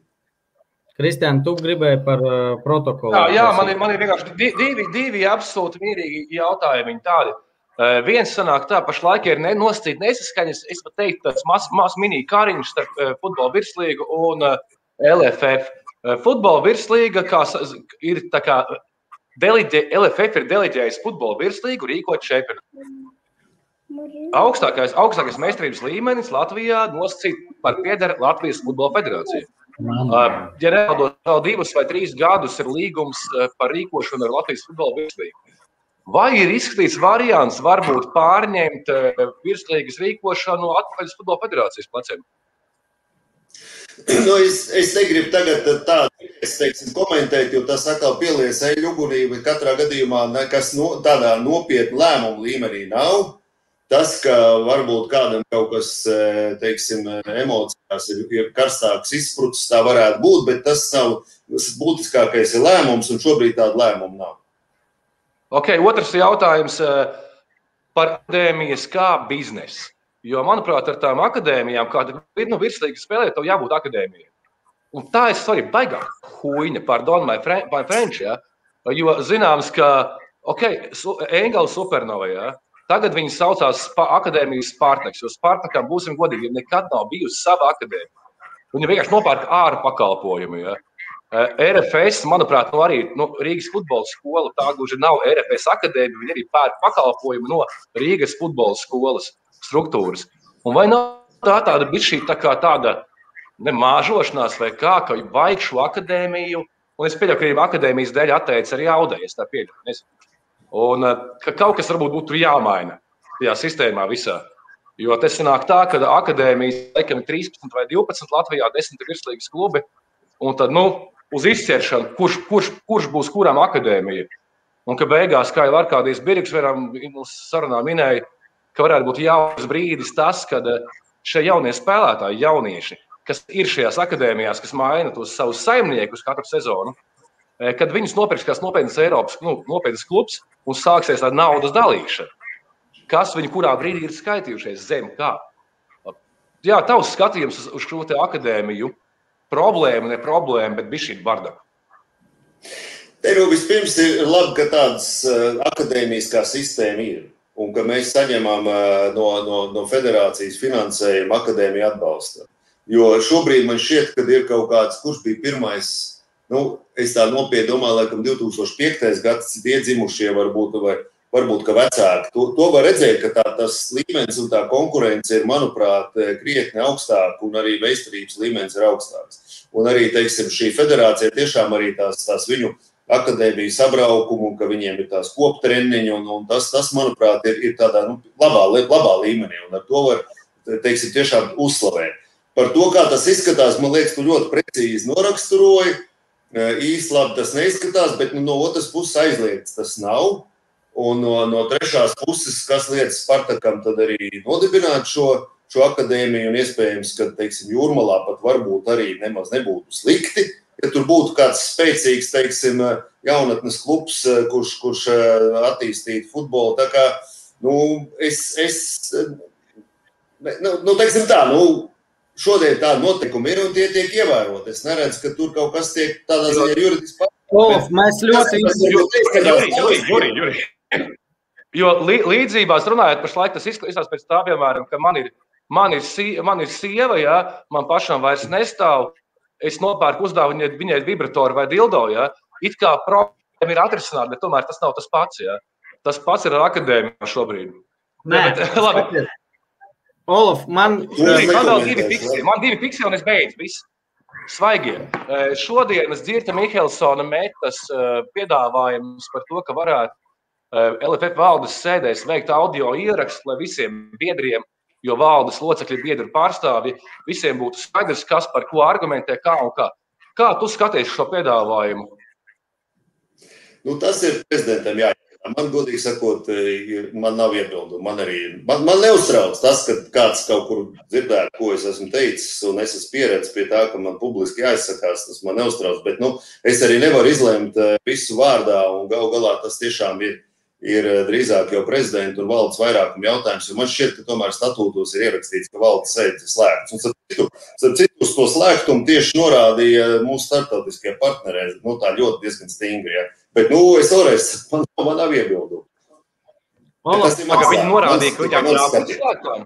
Jā, jā. jā starptautiskie partneri diezgan grib, lai būtu slēgts. Tomēr, jā. Viņi, viņi uz, ne, nu, zin, te jau arī ir tāda kaut kāda saistība. Redz, mums tās, tās raganu medības pēc tam ir, un tad tur ķers un raksta pa tiem tīkliem. Tas, tas, nu, kā lai saka, tas spiediens jau ir, ir arī tieši cilvēkiem, kas pie tā nav pieraduši, ir tīri psiholoģiski ir nepatīkams. Nu, man, man teiksim, tas jau, es esmu pie tā pieredzes, bet es vēlreiz saku, mēs jau esam deviņi tur. Ja? Un es, es gribētu teikt, citu, ka valsts locekļi ļoti, ļoti, nu, ļoti aktīvi strādā, un prezidents ir aktīvs, un arī valde ir aktīva. Tā es nevarētu pārmest neko, ka tur ir kaut kāda nu, nu, tāda nevēlēšanās vai, vai kas. Nu, protams, ka pārdzīvo arī šos notikumus, kas šobrīd ir, un, un tā, nu, tas, tas nevienam nav patīkami. Es nedomāju, ka futbolam ir, ir, ir labi, ka mēs publiski strīdamies. Olaf, pēdējie divi jautājumi. Paldies, man viss, Jurija. Jā, uh, pirmais ir par audu interesējās. Tomēr es domāju, ka tev kā valdes loceklim uh, ir zināms, kāpēc viņiem atteica, jo Cik es saprotu, līdz šim bija jautājums tikai akadēmijā, un viņi bija gatavi samaksāt tos 200 tūkstoši eiro. Kur ir problēma? Nē, es tev nevarēšu atbildēt, es nezinu. Jo nu, tas, ka prezidents mūs informēja šodien, ka, ka tiešām tā apelācijas komisija ir atteikusi, tā ir tiesa. Bet, nu, jāpagaida tomēr rakstiski kādi, kādi atteikumi. Es, es nezinu neko vairāk. Es zinu tikai to, ka ir atteikts. Un pēdējais jautājums. Es nezinu, iespējams. Nezinu. Un, un pēdējais, atgriežoties pie tiem legionāriem, Endijs Šlampe, bijušais arī U21 izlases spēlētājs, šobrīd laikam. Es baidos sajaukt grobiņu ar karostu. Karostā stutē jautājumus. Viņš man gluži manas domas. Kristiāna izlasīs? Uzlies. Ēdīs jautā, Vai valde tā vietā, lai palielinātu legionāru maksas, ir strādājusi pie varianta ar jaunu sponsoru piesaist, kas varētu šo atbalstu jaunajiem futbolistiem finansēt?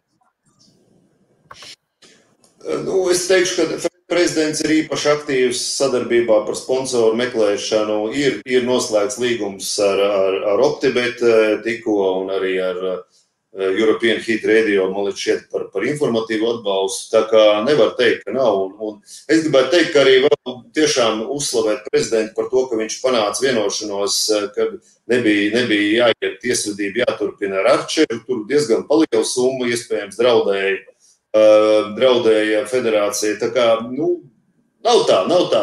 Līdzekļi, līdz, mēs domājam gan par sponsoru piesaisti, gan arī par gan arī par līdzekļu ietaupījumu. Arī šobrīd par tām eh, slēgtajām halēm tika, tika vestas sarunas un atrasts pietiekoši labs variants. Es domāju, ka kad uh, izdevīgs uh, futbola sabiedrībai, nu, pat tām piepūšajām halēm. Tā kā, nu, paldies par, par ieteikumu. Vienīgi, ko es gribu teikt, un to es arī tā kā jau politikā esošs cilvēks var teikt, ka ši, šī brīža nodokļu sistēma mums to sponsorēšanu un atbalstīšanu īpaši neved, nevadās. Tā kā, tā kā, bet, bet, protams, ir aizrādījums vietā un, un, un jāstrādā, jādarbojas.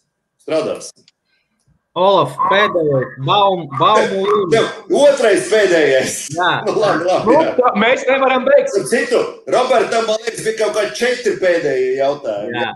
Baumu, baumu līmenī vienmēr ir mums jau kā tautas dziesmās, mums ir šī tāda, nezinu, vai tu skaties mūsu raidījumus, eh, mums ir rubrika Dainis. Un šobrīd nevis kā izlases galvenā trenera amatā, bet arī kā, kā viņu sauc par pelēko kardinālu. Cik liela ietekme viņam ir valdē? Bet, zināt, es, es tomēr gribētu teikt, tā, es iesākšu ar, ar, ar, ar citu lietu. Mēs tikko runājam par futbola akadēmiju. Manā, manā teiksim, apziņā un sapratnē Dainis Kazakevičs bija tas, kurš iedibināja šo akadēmiju sistēmu. Jā, jā. Un par to es domāju, viņam ir milzīgs paldies vismaz no manis, un es domāju arī no pārējiem, kas, kas darbojās šeit, šajā akadēmijas sistēmā. Eh, par, par, par to, vai mums vajadzētu īpaši kaut kādā rubrikā, nu, nezinu, tur ironizēt un smieties par nacionālās izlases treneru, nu, man liekas, arī tas nav labi. Tas nav labi, un, un es tiešām aicinātu padomāt par to, ka mums ir uh, izlase vajag stiprināt un, un, un, un, un teiksim, tajā gadā arī, arī atbalstīt uh, nacionālos, nacionālās izlases treneru. Es, teiktu, es tā teiktu par arī citu uzvārdu, ne tikai šo, kas ir šobrīd. Jo kamēr viņš ir amatā, mums, mums šis cilvēks ir jāatbalsta. Es, kad Dainis, teiksim, kandidēju, es jau viņam teicu, ka viņš ir ļoti drosmīgs cilvēks, jo es zināju, kādas būs, nu, kā, kā teiksim tā, mēs jau, ja mēs paskatāmies Angļu, tie ir vēl trakāki, ja, tur, kā viņi tur tos trenerus preparē un, un čakarē, ja. Bet, nu, mums varbūt arī cita tā mentalitāte un cita, cita uztvere, kā, vai viņiem ir liela ietekme, grūti pateikt, grūti pateikt grūti pateikt. Es domāju, ka viņam ir ļoti labas zināšanas, teiksim, futbolā. Un, un skaidrs, ka viņš ir, ir, ir arī, arī labs kā orators. Viņš, viņš izsakās, es negribu to noliegt.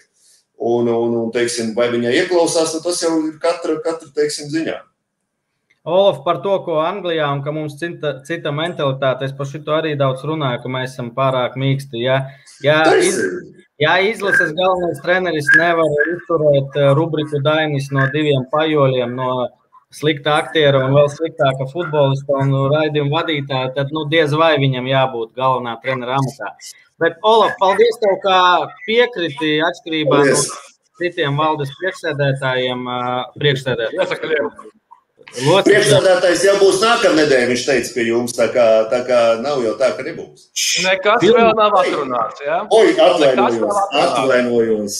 Olaf, Labi, paldies! es esmu skatīties Champions League, ja? Jā, tieši tā. Paldies. Paldies! Paldies. Tā, tā. Oi, Jurij, Man jāierauga. es zināju, ka žurnālistiem šitā ir. Es zināju. Pagaid, Kristian, es, Oh. es nevaru, man jāiet, jāiedzer. Es uzlikšu, Betsafam būs divreiz jāmaksā. Jā, bet jau, es- draugi, draugi, varam izdarīt tā, ka uztaisam divu minūšu pauzīt.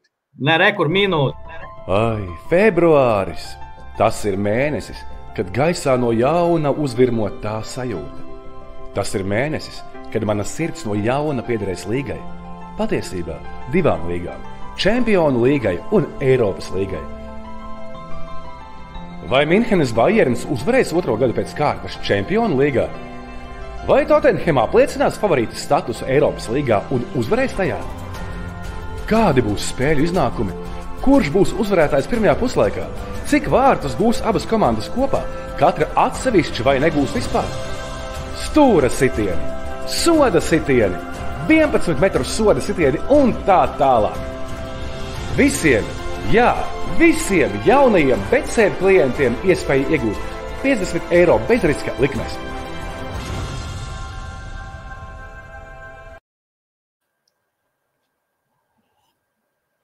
Es biju vienkārši mazliet uzvilcies, tāpēc man gribējās padzerties.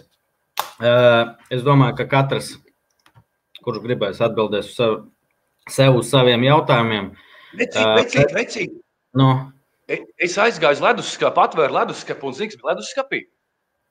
Baumas, ka Vēstpils komandai Covid Turcijā.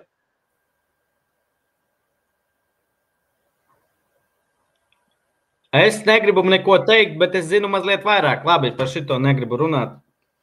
Uh, davai, uh, tālāk, jo mums laikam būs garākais uh, raidījums vēsturē. Pēc desmit minūtēm mums būs jābeidz, uh, bet maksimum mēs ļausim parunāt, uh, cik viņš grib. Nu, ne vispār, cik viņš grib. Bet Čau, jautājumi- Māks.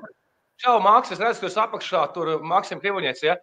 Es davai līdz aizskriešu vēl fiksi. Jūs sāciet runāt, ja? Davai, davai, Kristēn. Paldies. Maksims Krivuņets ā, būs nākošais. Piedodiet, piedodiet, daudz bija jautājumu, bet man bija pārāk daudz savu jautājumu un pretenziju. Tā kā šoreiz bez jums tiku galā. Bet ā, dosim vārdu arī otrai pusē, virslīgas ā, valdes. Es vienmēr jaucu viņu profesiju, nezinu, amatu priekšsēdētājs Maksims Krivuņets. Maksim, labvakar! Labvakar, vai jūs dzirdat mani? Ļoti labi, skaļi. Ļoti labi, Skaļāk. super. Super. Jā. Es raustiņam, paldies par aicinājumu. Es pat nezinu, ar ko sākt, jo diezgan daudz, gan domas, gan pēc uh, Olafa prezentācijas. Un uh, gribu pateikt, ka Valentīna Dīna man viss kārtībā bija, kas man uh, uh, uztrauc vairāk, tas ir uh, tāds milzīgs populisma vilnis, kurš nāk no Latvijas futbolas valdes uh, locekļiem. Un, uh, Es saglabāšu šo video, protams, sev, lai man ir virslīga divi brīvprātīgi. Es viņam parādīšu, kā strādā no Latvijas Futbola Federācijas mm, valdēs argumentācijā, pieņēmot lēmumus. Jo mēs redzam, ka ir pieņemti lēmumi, bet mēs pat nedzirdējam nevienu ciparu, nevienu argumentāciju, kāpēc šīs lēmums bija pieņemts. Pareizi, jūs ļoti pareizes jautājumus uzdevat par uh, pieņemt lēmumu savākt naudu, bet pat nezinu, kā viņu to iztērēt. Ko es gribētu dzirdēt, ja mums tāds pats lēmums ir, tad uh, es gribu dzirdēt, kādi ir mērķi, cik maksā sagatavot vienu izlases spēlētāju, kādus mērķus mēs izvirzam pirmās līgas klubiem, ja mēs gribam novirzīt naudu uz pirmo līgu, cik viņi sagatavos U18, U21 spēlētāju. Es nedzirdēju ne pirmā prezentācija, ne otra prezentācija, ne tagad. Un tas ir tīrais populisms. Nē, Maks, es, es atļaušos tevi pārtraukt. Tev ir vieglāk Jā. pārtraukt kā Olafs. Jā, protams. Uh, Man likās uzreiz no sākuma, tas ir greizi, ka ir izdomāts pacelt, bet tu nezini, kāpēc. Tu, tu Nu, es tev varu pastāstīt, kāpēc. Jums taču savā starpā ir tur mītingi kaut kādi, nezinu, stāsta, kas, kam varbūt viņš mums negrib stāstīt eh, tos ciparus, nezinu, plānu.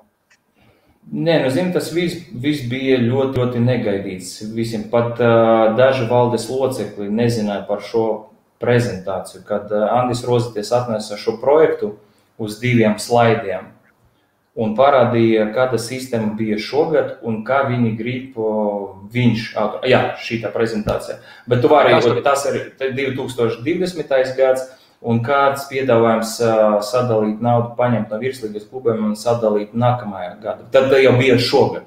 Piedāvājums jau uzreiz bija balsot par šo piedāvājumu. Vot tāda analītiskais darbs no valdes, Latvijas Futbola Federācijas valdes locekļiem. Un, diemžēl, valdes Latvijas Futbola Federācijas viceprezidents pat nevarēja to šodien arī apstiprināt un pateikt, kāpēc un kā tikai. Es vienmēr dzirdu Latvijas jauniešiem, Latvijas futbola mm, labai, un tas ir tīrais populisms. Valdes locekļu līmenī tādai argumentācijai vispār nav vietu. To jāsaprot. Tur jābūt stingrai argumentācijai, kāpēc kādi mērķi mēs iesniedzam. Viņš arī mēģina pateikt, ka virslīgas klubi vispār maldina cilvēkus, ka virslīga klubi neiegulda naudu akadēmijā. Tā nav pareizi. Katram klubu, virslīgas klubam ir akadēmija vai ir līgums ar akadēmiju, un viņi iegulda diezgan daudz naudas. Otra lieta, viņš pieminēja par viņš pieminēja Latvijas Futbola Federācijas programmu, kur atbalsta akadēmijas. Tā nauda, par ko viņš runā, tad šogad tas ir 500. Solidaritāte. Solidaritāte payment, jā, jūs varat ienākt vai paskatīties UFA mājaslapā, kur tur ir, vai es varu pārsūtīt, jums tas ir atklāts. Nē, bet šeit arī ir. Nē, šeit nav solidaritāte. Nē, nē, šeit nav solidaritāte. Tas ir Latvijas Futbola Federācijas budžets, kuru viņam jāvirza uz virslīgas klubiem. Tur ir rakstīts no UFA ģenerālsekretāra, ir rakstīts, ka tas, šī nauda jābūt novirzītāji top division clubs. Tas ir virslīgas, lai attīstītu jaunatnes akadēmijas. Ko mēs redzam šodien? Paņemsim Spartaku piemēru. Ļoti spilgts piemērs. Latvijas Futbola Federācija nedod Spartakam 50 tūkstošus, lai izveidotu savu akadēmiju, savu sistēmu, bet piespiež samaksāt 200 tūkstošu sodu tāpēc ka viņam nav akadēmijas. Man tas atbrīna. Kā mēs gribam sasniegt, lai mūsu virslīgas klubi un UFA to saprot, ka tas ir diezgan apjomīgs darbs un diezgan darbs, darbs. Kāpēc mēs nedavam mūsu klubiem iespēju izveidot un vēl iespējams viņam maksāt sodus? Par kādiem 50 tūkstošiem no federācijas? Nu, piemēram, ja mēs sadalām 500 tūkstoši UFA solidaritāti, Uz desmit klubiem 50 tūkstoši. Katram virslīgas klubam, lai viņš izveidotu vai attīstītu savu uh, jaunatnes sistēmu. Tu saki, ka federācija 50 tūkstoši Spartakam nedod, bet tai pašā nedod, laikā jā, jā, to, jā. no akadēmijas Spartakam, lai startētu virslīgā, jāmaksā 200 tūkstoši. Jā, bet ja mums ir jautājums par legionāru maksājumu, tad es varbūt jūsu skatītājiem pateikšu, nu, pastāstīšu mazliet par vēsturi, kā mēs to izveidojam, šo sistēmu. Ja šīs lēmums bija pieņemts pagājušā gada, kad mēs mainījām sistēmu, legionāru sistēmu virslīgu, profesionālu futbolu mainot uz 8-3, arī bija tāds piedāvājums, tas bija mans piedāvājums izveidot, atgriezt atpakaļ legionāru maksājumu, kuri bija mums pirms trim gadiem. Virslīga un, pati šo iniciatīvu. Jā, jā mēs, mēs paši piedalījāmies, jo tas bija mūsu tikšanās. Mums bija trīs vai četras tikšanās virslīga kopā ar, ar iepriekšējo Latvijas Futbola Federācijas valdi, kur mēs runājam, ka ne visi klubi grib virslīga spēlēt ar sistēmu 8-3. Īpaši mazi klubi.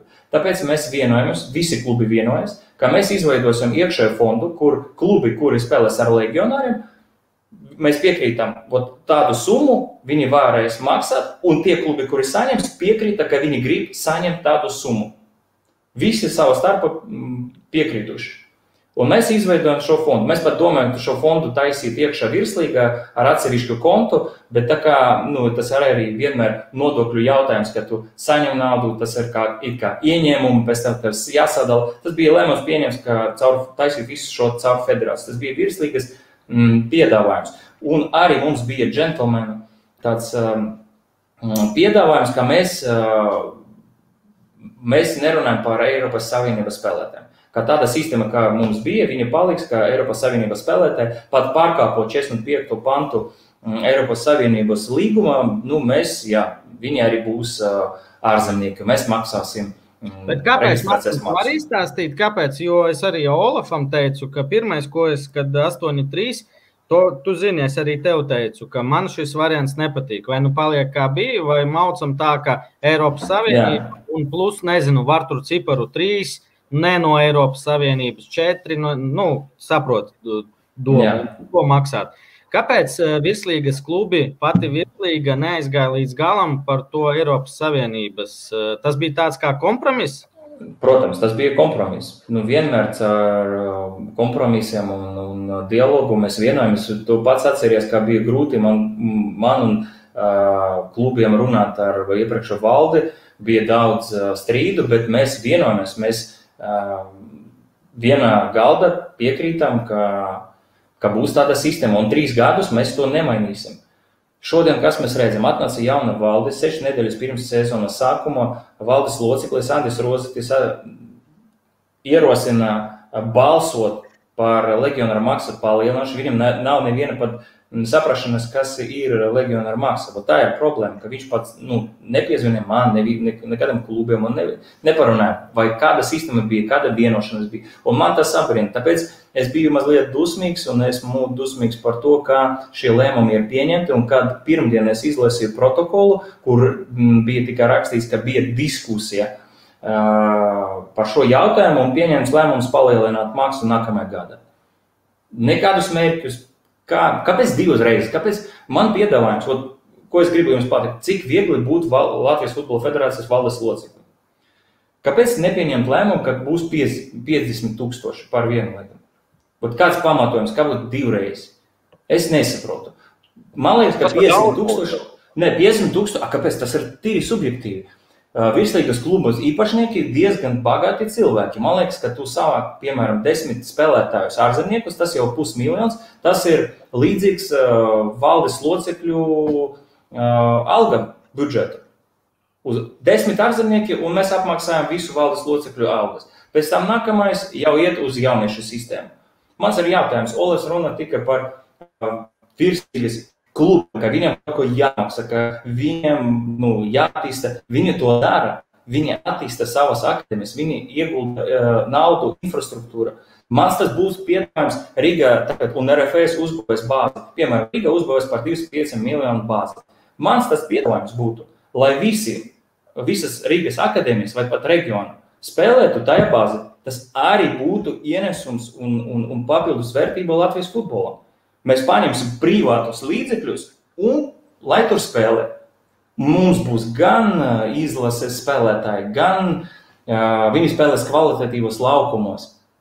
Kāpēc ne? Tas ir tāds pats populisms, kad paņem no tiem, kuriem ir un kuriem tie strādā, un viņi zina, kā, kā vispār nauda strādā un kā to naudu nopelnīt. Cik naudas nopelnīja vispār Latvijas Futbola Federācija? Ir jautājums, cik nu, tālu Eiropā hit radio. Uh, Eiropā hit radio. Interesanti. Interesanti. Kas vēl bija? Kas vēl kaut ko labi? Optibet bija uz pirmo līgu. Es, es, es piedalījos arī šajās pārunās, un es uh, ar Optibet, kā es zinu, Jā, tas ir. Es šo vārdu šeit, šeit nedrīkst Optibet teikt. Optibetu nedrīkst? Nedrīkst. Vai kādu optibetu? Okay. es paķeršu viņš atpakaļ. Tā, ja? Trīs vārdos sanāk tā, ka Uh, nu, virslīgai pieder komerctiesības, raidtiesības, bla, bla, bla, bet it kā virslīgai nav nekāda daļa par šīm leģionāru maksām. To var, to var izlemt futbola, nu, futbola federācija. Šīs lietas. Jā, visi regulējušie akti Jā. ir. Uh, ir federācija. Savukārt, nu, sanāk tā, ka jūs kā iepriekšējā valde vienojāties, ka trīs gadus ir stabilitāte kaut kāda, nomainījās Jā. valde, un vienkār, jums bija džentlmeņa vienošanās, Un tagad šī valde to vienkārši paņēma un Piksi pateica, būs vairāk. Jā, cepiens jā, jā. ir vairāk par to nevis par to, ka nevarētu maksāt šo summu, bet laikam cepiens ir tieši par to veidu, kā tas tika nokomunicēts vai pasniegts vienkārši. Ja? Nu, tieši tā, nu, ja ir argumentācija, ka viņi var pierādīt klubiem, ka tas uzlabos mm, sistēmu, tad nav problēma. Ja viņi teiks, ka mums nav naudas, lai attīstītu pirmo līgu jaunu sistēmu, man ir piedāvājums. Es nākamā kongresa piedāvātu, lai valdes locekļi nesaņemtu algu. Pusmiljonu eiro mēs ieguldīsim jaunatnes sistēmu un pirmās līgas klubiem. Tas ir mans piedāvājums. Vēlreiz, tu jau Nu, runāji. nu, apmēram, es nezinu, Ot, pie, nu, tu tikko dzirdēji nu, argumentāciju no viceprezidenta, kurš saņem, es nezinu, nu, Twitterī šodien uh, lasīju, tur uh, cilvēks uzrakstīja, ka 3000 eiro. Neticu. 3000, Tādu, nu, algu, 3000. Tādu algu Latvijā nav. O, nu, saņem parunāt- naudu? Tu, tu, tu gribi parunāt par naudu, davai, davai turpināsim tad par naudu. Ot, uh, valdes locekļu sistēma, kā strādā uh, valdes locekļi. Uh, turpinot ar Spartaku, piemēram. Nu, Spartakam nav akadēmijas. Ko viņam darīt? Viņam vajag tikai vienoties ar kaut kādu citu akadēmiju. Ko dara mm, viens no valdes locekļiem? Mums labāk nosaukt viņu, jā, Jānis Enķis. Ko viņš dara? Viņš ir akadēmijas īpašnieks. Viņš nāk virslīgas klubiem un tirgo ar savu akadēmiju. Jo virslīgas klubiem jāsamaksā 200 tūkstoši, bet viņš varētu piedot, es nezinu, 150, 100. Un Ar atlaidi tu varēsi spēlēt virslīgā. To dara valdes loceklis, federācijas valdes loceklis. Ja viņš grib to kaut kādā veidā nokomentēt, vai, piemēram, uzrakstīt par mani etikas komiteju, ko viņš grib ļoti izdarīt, tad viņš, viņam jāraksta pret saviem biedriem, kuri par to arī stāsta.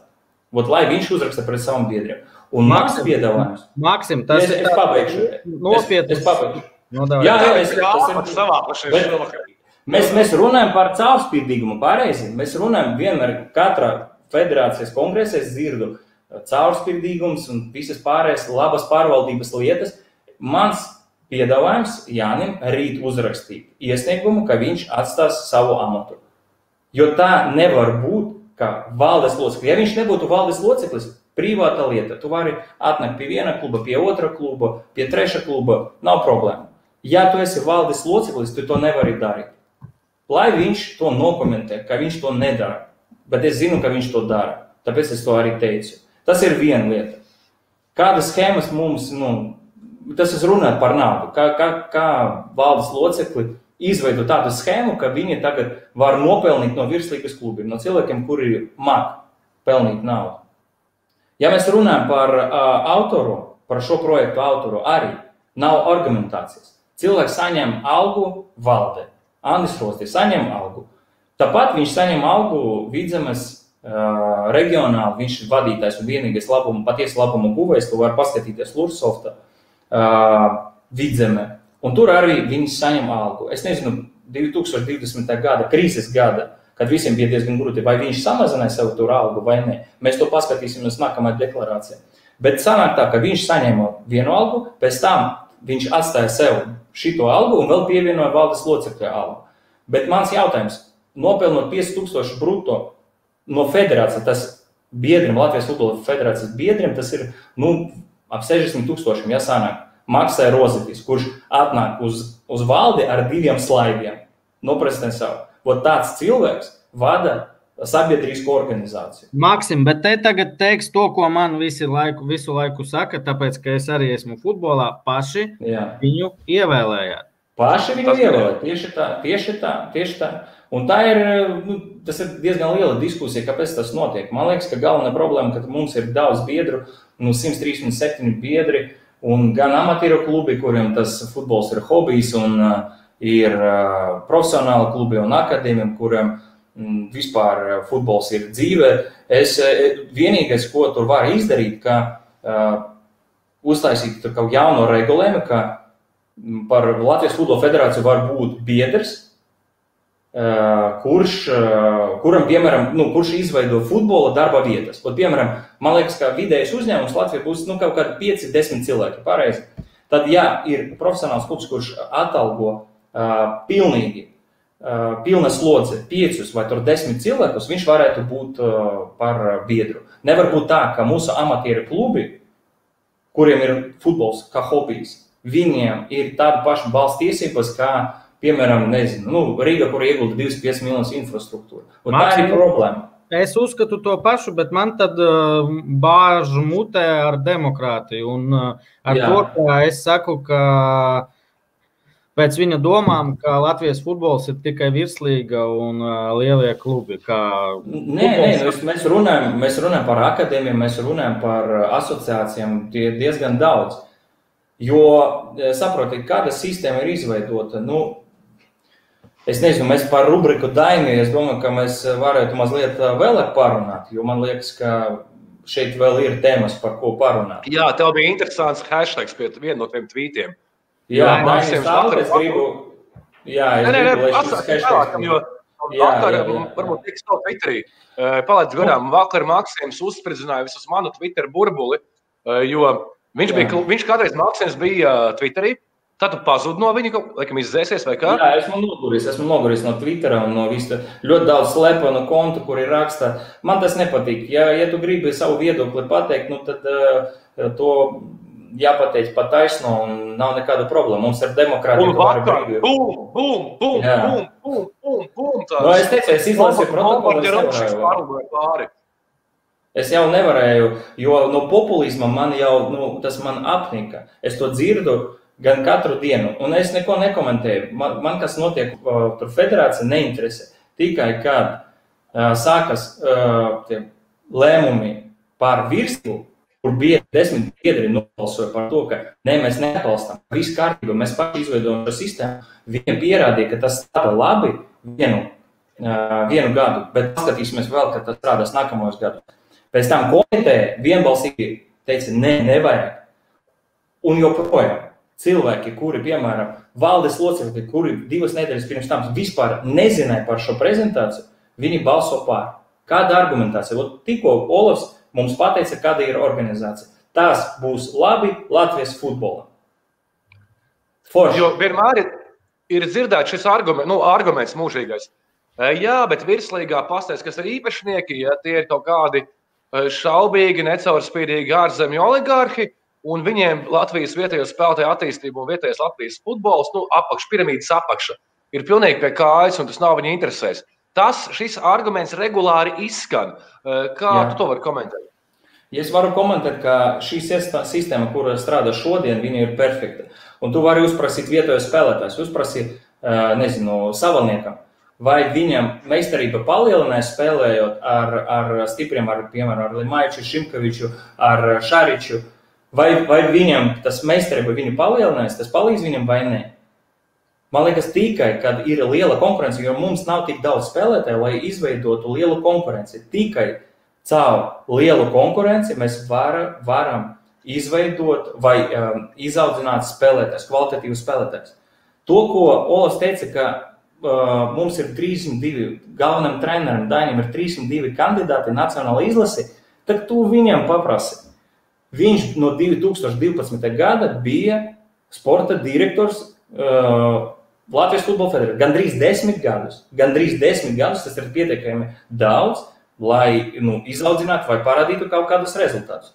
Bet joprojām viņš no sporta direktora sāk trenēt, un tagad, es nezinu, mēs kādā vietā 140, 137. aiz mums tur ir Burundi. Tas ir rezultāts viņa darba, un viņš prasa mums, nu, es nezinu, virslīgas klubs neieguldīja naudu, jaunatnes sistēmu mums vajag pirmā līga attīstīt. Es prasītu tur, tur ir atbildēs. Māksim, te vairāk, eh, nu, es nezinu, kā to domu pareizi izteikt. Eh, Mums nav spēlētāju ne tāpēc, ka, kā es prasīju Olafam, Morus eh, neliek Varslavānu, nelika. Es ceru, ka to, ko es redzēju, Renārs ir ļoti pielicis, un eh, es ceru, ka viņš spēlēs pamatsastāvā. spēlēs. Viņš, viņš neliek sastāvā, tāpēc, ka ir vājš. Un, uh, un tā, ka- ko es toreiz teicu, ka 8 plus 3 tas bija tāpēc, Jā. Ka vēl trīs spēlētāji, viņiem vēl vairāk. Nu, tur klubi vairāk gribēja, lai nosist cenu, nu, tur visādi varianti bija. Bet vienalga paliek trīs, kuri ir neizskarami. Nu, tā rupji sakot. Nu, Kad- ir, ir, nu, jā, sorry. kad, kad mums ir konkurence, nu, mēs vienkārši nevaram saražot to spēlētājus. Tad jārok dziļāk, un nekādi, pie, nu, ko es gribu pateikt, jau lai to esi dzirdējis, to es Olafam teicu. Nu, 50 tūkstoši papildus, ja tu neproti trenēt, ja tu neproti strādāt, ja tu nezini, kā strādāt, viņi neko neizdarīs, ja tikai kaut kur kabatā ieies. Ja tev neiestrādāta KPI, kā tu to naudu izterēsi, tu neko neizdarīsi. Neko neizdarīsi. Šeit jautājums ir tas, ka joprojām virslīgas klubam minimum būs spēlēs 30 spēlētāji. Katra karta 3, nu, tagad mums, cik es saprotu, 9 klubi. Tas mani arī pārsteidz. Viceprezidents nezina, lēmums bija, sēde bija 5, viņš nezina tādu svarīgu lēmumu, nezina, kas notiek. Nu, man tas pārsteidz. Es nezinu, vai jūs pārsteidz vai ne, bet man tas pārsteidz. Bet turpinot, bet turpinot, nu, ok, mums būs, katrā deviņu kluba būs, no deviņiem klubiem būs trīs spēlētāji minimum. Ko mēs izveidojam ar 8,3? Mēs izveidojam sistēmu, kad klubs var izvēlēties. Viņš var spēlēt ar legionāriem, viņš var spēlēt pilnīgi ar Latvijas spēlētājiem. Un, ja ir Latvijas spēlētāji, viņi var spēlēt. Un otra lieta, kāpēc nu, pirmā liga nevarētu būt nopietna platforma čem, tas jaunu spēlētāju izveidošanai? Nu, tas, ko Aleksandrs Kalinko teica pie manis par dublieriem. Un, domā, un, un pirmā līga ir zem federācijas. Viņi var tur taisīt to, ko viņi grib. Ko mēs redzam, katru gadu tur mainās sistēma. Jo nav saprošanas, jo nav strateģiskas domāšanas. Un tā kā ir problēma. Kā tu skaties, lai dublieru čempionātu liktu? Jo skaties tajā pašā grafikā, kur šeit ir, es varbūt kļūdos, es tagad par to sāku domāt. Es pameklēšu šeit dublieru komandu Nav. Nē, nav. nav. Pārsvarā visi... jo, par dublieriem maksā virslīgas klubiem. Tu saproti to. Šeit, Tas ir klubi, kurš no vis... Nu, ok, nu, jā, bet tad. Virslīgas klubi jau maksā par viņiem, paņem no virslīgas klubiem, lai viņi vēl samaksātu par viņiem. Tas nav loģiski. Šeit ir. Nē, tas ir loģiski. Ja pēc viņu, pēc viņu vārdiem tas ir loģiski maksāt tiem, kas sagatavo spēlētājus U17, U19. Paskaties, tūlīt izlasīsim Dobricovs, ej, gulēt. Te runas par pirmo līgu, bet no turienes nevienu nelaiž uz virslīgu. Par audu runā. Nu, jā, à, nu, nē, nu, tas ir ļoti labs jautājums. Tas arī uh, runāja par sistēmu. Mēs izveidojam tādus nosacījumus, neiespējamos, neiespējamos kuri nevar iztenot. Tas arī tas nav saprošanas, kāda ir reāla situācija valstī. Jo Dainim tas bija super uh, projekts ar akadēmiem, nu, tas, tas nestrādā. Tas jau saprotams bija jau vairākus gadus pirms tam. Jo mums jāsadala akadēmijas un cilvēki, kuri māca uh, audzināt spēlētājus un profesionālais futbols. Maksim, bet kā? Uh, nu, piemēram, uh, ir uh, Lamākins, ir uh, Šičhānovs, Trabuki, Milovs, Sorī, Valmierieši, nezinu, joprojām Šveices investoru. Kas mums vēl ir Novā, tagad arī pagaidām nezinu, kas ir. Kā viņu, kā viņus, kā viņus motivēt? Uh, tu saki, ka viņi iegulda. Protams, viņi iegulda, maksā algas, ieguldās. Uh, Bet Jā. kā, kā motivēt vairāk viņus? No, no skaties, vot šita sistēma, viņa, šita sistēma tev motivēs. Tu kā virslīgas, tu kā pirmās līgas klubs, tu iesi virslīgā. Tukums. Viņi iekļuva spēlē. Redzi, redzi, cik, cik tukums saņem. Viņi saņem, viņi, un viņi vēl vairāk, vairāk spētu, viņi spēlē vairāk Latvijas spēlētājiem, viņi saņem vēl vairāk. Jo tā ir pirms tam 9 vai 10 vieta saņemam nulli. Ko mēs izveidojam? Mēs izveidojam ar legionāru sistēmu, ka viņi saņem naudu. Viņam ir iespēja dabūt naudu.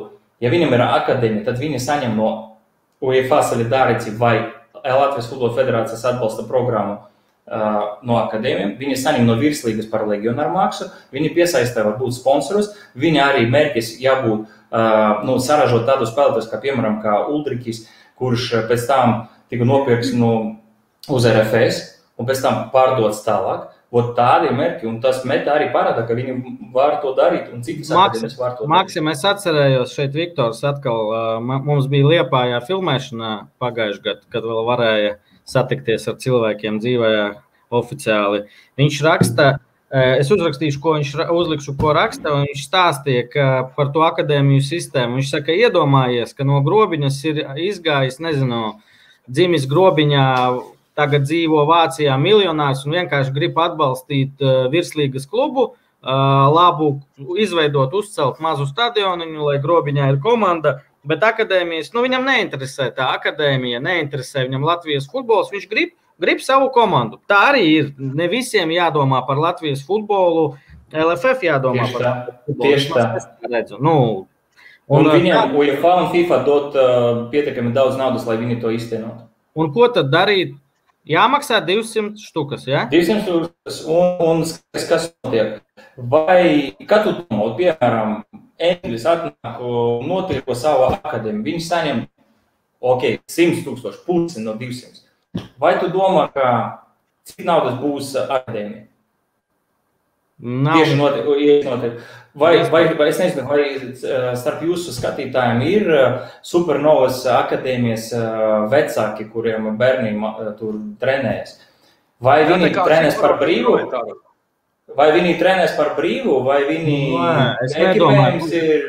Ot kas, ot šis cilvēks katru gadu mēģina kaut kā nopelnīt uh, ar akadēmiju, un viņš pieņem lēmumus, uh, kā virslīgas klubiem jāspēlē, kādas akadēmijas viņam jābūt. Un tie nosacījumi ir mm, krietni lielāki nekā UEFA prasa, lai spēlētu uh, Champions League vai Eiropas līga. Man Jānis Engels, Maksim, pārtraukšu tevi pēc uh, tā, ko es sarunāju par supernovu. Uzrakstīju, ka man jāpārbauda informācija. Un ir audzēkņi Zelmanis, Liepājā, Zengis, Valmierā. Un divi tikko bija Rīgu, Turcijā - Čugunovs un Kransmanis. Tas ir nu, gada. akadēmijas- Un Melnis Meta. Un Melnis Un Meta cik- audzēkņi. Vai uztaisīt, mums ir daži žurnālisti, kuriem patīk taisīt kaut kādas mm, analīzes. Tie neesam mēs. Nu, nē, nē, jūs. Es, būtu, es gribētu paskatīties tādu informāciju, cik daudz naudas uh, mēs novirzījām uz akadēmijām, uz katram akadēmijam, cik tas akadēmijas saražoja Latvijas Nacionālās izlases, lai mums būtu analīze. Šodien mēs gribam vēl vairāk saņemt naudas no virslīgas un, un uh, pārsūtīt uh, tam pirmās līgas klubiem ar akadēmijiem. Un Labs, tāds, uh, labs pat, nezinu, bakalaura darbs sporta, sporta nozarē, lai cilvēki to izanalizētu. Cik daudz, cik efektīvi mūsu uh, akadēmijas saražo spēlētājus. Labs Un, un, un paskatījums, kā, cik daudz mēs uh, paņēmām naudas no UEFA Solidarity, cik mēs no tās naudas devām virslīgas klubiem, kuri, kā Olofs teica, neko neieguldā uh, jaunatnes sistēmā. Tas diezgan tāds arī populistisks viedoklis. Un, un tad mēs redzēsim, un, un es domāju, ka, ja akadēmija nesaražo tādus spēlētājus, mums nav finansē. Mums tad jāiegulda šo naudu vai nu laukumos, vai nu kaut kādos citos projektos. Mums nav uh, jāfinansē neefektīvus biedrus. Tas mums nav tā, ka ja viņi saprot, ja viņi nopelna naudu, tad tā ir nauda, biedru nauda. Viņi kaut kādā veidā var nu, to sadalīt. Bet viņi Ne. sadala dotācijas. Maks, Dotācijas. Maksim, te jau tas mans ir, to ir Kristiāna pēdējais. Mans ir tas, ka nu, cilvēki vienkārši paņem, viņa, e, kā es to redzu. Jūs izdomājāt to 8 plus 3, ka ir jāmaksā legionāra nauda, pienāk novembris, meta Daugopils saņem, cilvēki apsēžās, skaties, samaksāja, vai dubultosim, nu, rupi sakot, vai trīskāršosim, vienalga maksās. Nu, ot šitā, nu, kāpēc? Laba ideja, pareizi. Jo zinot, valdes loceklis federācija ir ļoti izdevīgi. Ir ļoti izdevīgi. Jo es pat mazliet, es atvainojos, es tev pārtraucu, bet davai es varbūt, man ir daži piedāvājumi, kā uzlabot darba federāciju, lai tev nebūtu tādu jautājumu. Jo man liekas, ka nedrīkst saņemt uh, algas no divām vai vairākiem avotiem federācijā. Tā kā to saņem Rozitis, tā kā to saņem Kazakievičs, kā to saņem arī citi federācijas darbinieki. Ne visi, bet ir arī tādi. Un, jo tas ir viens maisis. Tu nevari, jo liekas, ka tas tu gribi kaut kur paslēpt. cik daudz tu nopelni no, jo tas nauda ir Latvijas futbola biedru nauda. Tas nav viņu nauda. Es domāju, ka pirmā lieta nedrīkst saņemt. Vai nu tu esi vidzemes loceklis, vai nu uh, centrā vadītājs, vai tu esi valdes loceklis, federācija. Tev nav tik daudz laika būt deputāts, treneris Smiltene, un vēl, uh, lai mēs tev maksātu, nu, ok, es neesmu biedrs, man organizācija nav biedrs, bet, uh, ok, jūsu biedri, lai maksātu tādu summu cilvēkam, kurš, mēs jau redzējām, neatkārtoši. Otra lieta Es eh, uz uh, virs 2500 eiro uh, algu es uh, teikšu, nu, mums jāparāda biedriem, kuri cilvēki saņem, kuri vada šo organizāciju. Viņi ir kā key players federācijā, tad, mums arī jāsaprot, kur tie, jo vidēja alga Latvijai ir 800 eiro. Man nav saprotams, no kuras paņemt. Nu, es, es strādāju privātā sektora, privātā sektora nav, tādu, nav tādas algas. Es jums godīgi pateikšu. Jūs paši. Mēs zinām. Jūs zināt, arī visi zina, kur jūs skatāt, visi zina. Kāpēc uh, mūsu valdes locekļi, sabiedriskā organizācija, kuri viņi paši grib strādāt un, un ieguldīt savu laiku, viņi saņem tādas algas. Man nav saprotams, visas algas virs 2005 vai es nezinu, vai nu, 2000 mums jāparāda. Tas ir otrais piedāvājums. Es ceru, ka biedri to paņems piedāvājums un nākamajā kongresē viņi ierosinās šos jautājumus. Maksim, trešā lieta. Jā, Rozītis atbild, atceries trešo lietu. Jā, Maksim, kurš tad Kristians jautā? Maksim, kurš tad noteiks, cik daudz laika katram cilvēkam ir dzīvē un cik amatus viņš var uzņemties? Nē, tieši tā. Ja, tur šeit, šeit ir divi varianti.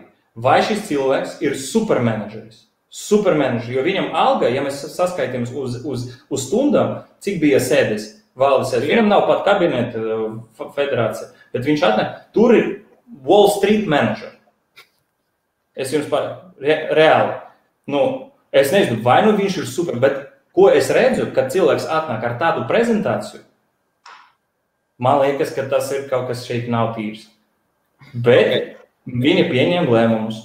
Trešais, trešais. Trešais, trešā lieta, ko es gribēju pateikt, ka valdes locekļi nesaņem algu. Es nesaprotu, kāpēc valdes locekļi. Es saprotu, varbūt viceprezidenti un prezidents viņi strādā katru dienu, tas ir viņu darbs, ok, viņi tur ceļo, runā. Tad valdes locekļi nāk tikai valdes sēde. Ja mūsu, bet varbūt arī kaut kāda KPI, ja piemēram mūsu ranking uh, ir tur, nezinu, 80. Nu, tagad mēs esam 137. Uh, ja mēs būsim 80. ok, tad mēs nu, kaut kāda KPI ir izpildīti, mēs saprotam, ka sistēma strādā, nu, mums vajag nu, arī viņi parādīja rezultātu. Vai nu, piemēram, viņi varbūt nu, no kopējā budžeta nu, 20% ir komerci, komerci ieņēmumi. Arī mēs redzam, ka valde pastrādāja, viņi, viņi nu, saņem naudu, nu, kāpēc nemaksāt? Nu, viņi patiešām to par samaksā. padarīto darbu, tu saki, jā? Nu... par padarīto darbu, protams. Tā kā mums sanāk, Šodien viņi saņem algu un pēc tam vēl prasa vairāk, lai mēs, mēs strādājam par brīvu valdi, lai virslīga strādātu čaklāk, lai piesaistītu vēl investorus un pēc tam paņemt no mums. Es negribu strādāt, lai apmaksātu viņam algu. Es negribu strādāt tā. Kristiāns, Kāpēc? Es... Sorry, Kristians, gribu jautāt, Maks. Nē, es gribu, es vienkārši šodien, nu, es tiešām diezgan daudz aptaujāju cilvēkus no futbola aprindām un mēģināja iebraukt šajā vispār tajā, nu, kas notiek pašlaik, jo no malas baigi labi neizskatās, visa komunikācija, viss pārējais. Un bija vairāk viedokļu no futbola cilvēkiem, kuri teica tādu frāzi: Nē, būtu forši. Ok, ļoti labi, ka papildus nauda tiem jaunajiem iet, tiem jaunajiem, kuri tā kā pēc tā jaunieša vecuma, pēc pārējais vecums. Visi baigi forši. Bet Latvijas futbola reāl, reālīs ir tās, un tas nesot tikai pirmo līgu. Ja, ja tu policistu blakus tai monētai nepieliksi, ja, Jo it kā es sajūtu tādu, ka viss tas piķis, kas nāk no federācijas, kaut kur viņš visur iet. Ja? Ka tas, kas tālāk viņa dabū, to viņš tuko, kā tur labāk nu, izdarīt tā, lai viņš kaut kā tur tā apdzīvotos pats. Ja? Es nezinu, bet tas bija viedoklis, neatkarīgs viedoklis, ko es no vairākiem biedriem dzirdēju. Ja? E, tad es sajūtu tādu, ka ar to, ka vienkārši iedosim naudu pirmajai līgai un tur tālāk, un man nav pārliecība, ka tā nauda aizies līdz tam tieši, tieši tam, kam to naudu vairāk vajag neaizies simtprocentīgi. Tas jau pierāda, nu, šī sistēma strādā desmit gadus. Es nesaprotu, kāpēc joprojām biedri tic tam, kas notiek federācijā un tiem cilvēkiem, kuri tur strādā. Es teikšu, tā tur ir ļoti forši cilvēki. Tur patiešām ir profesionāli. Es nerunāju par visiem.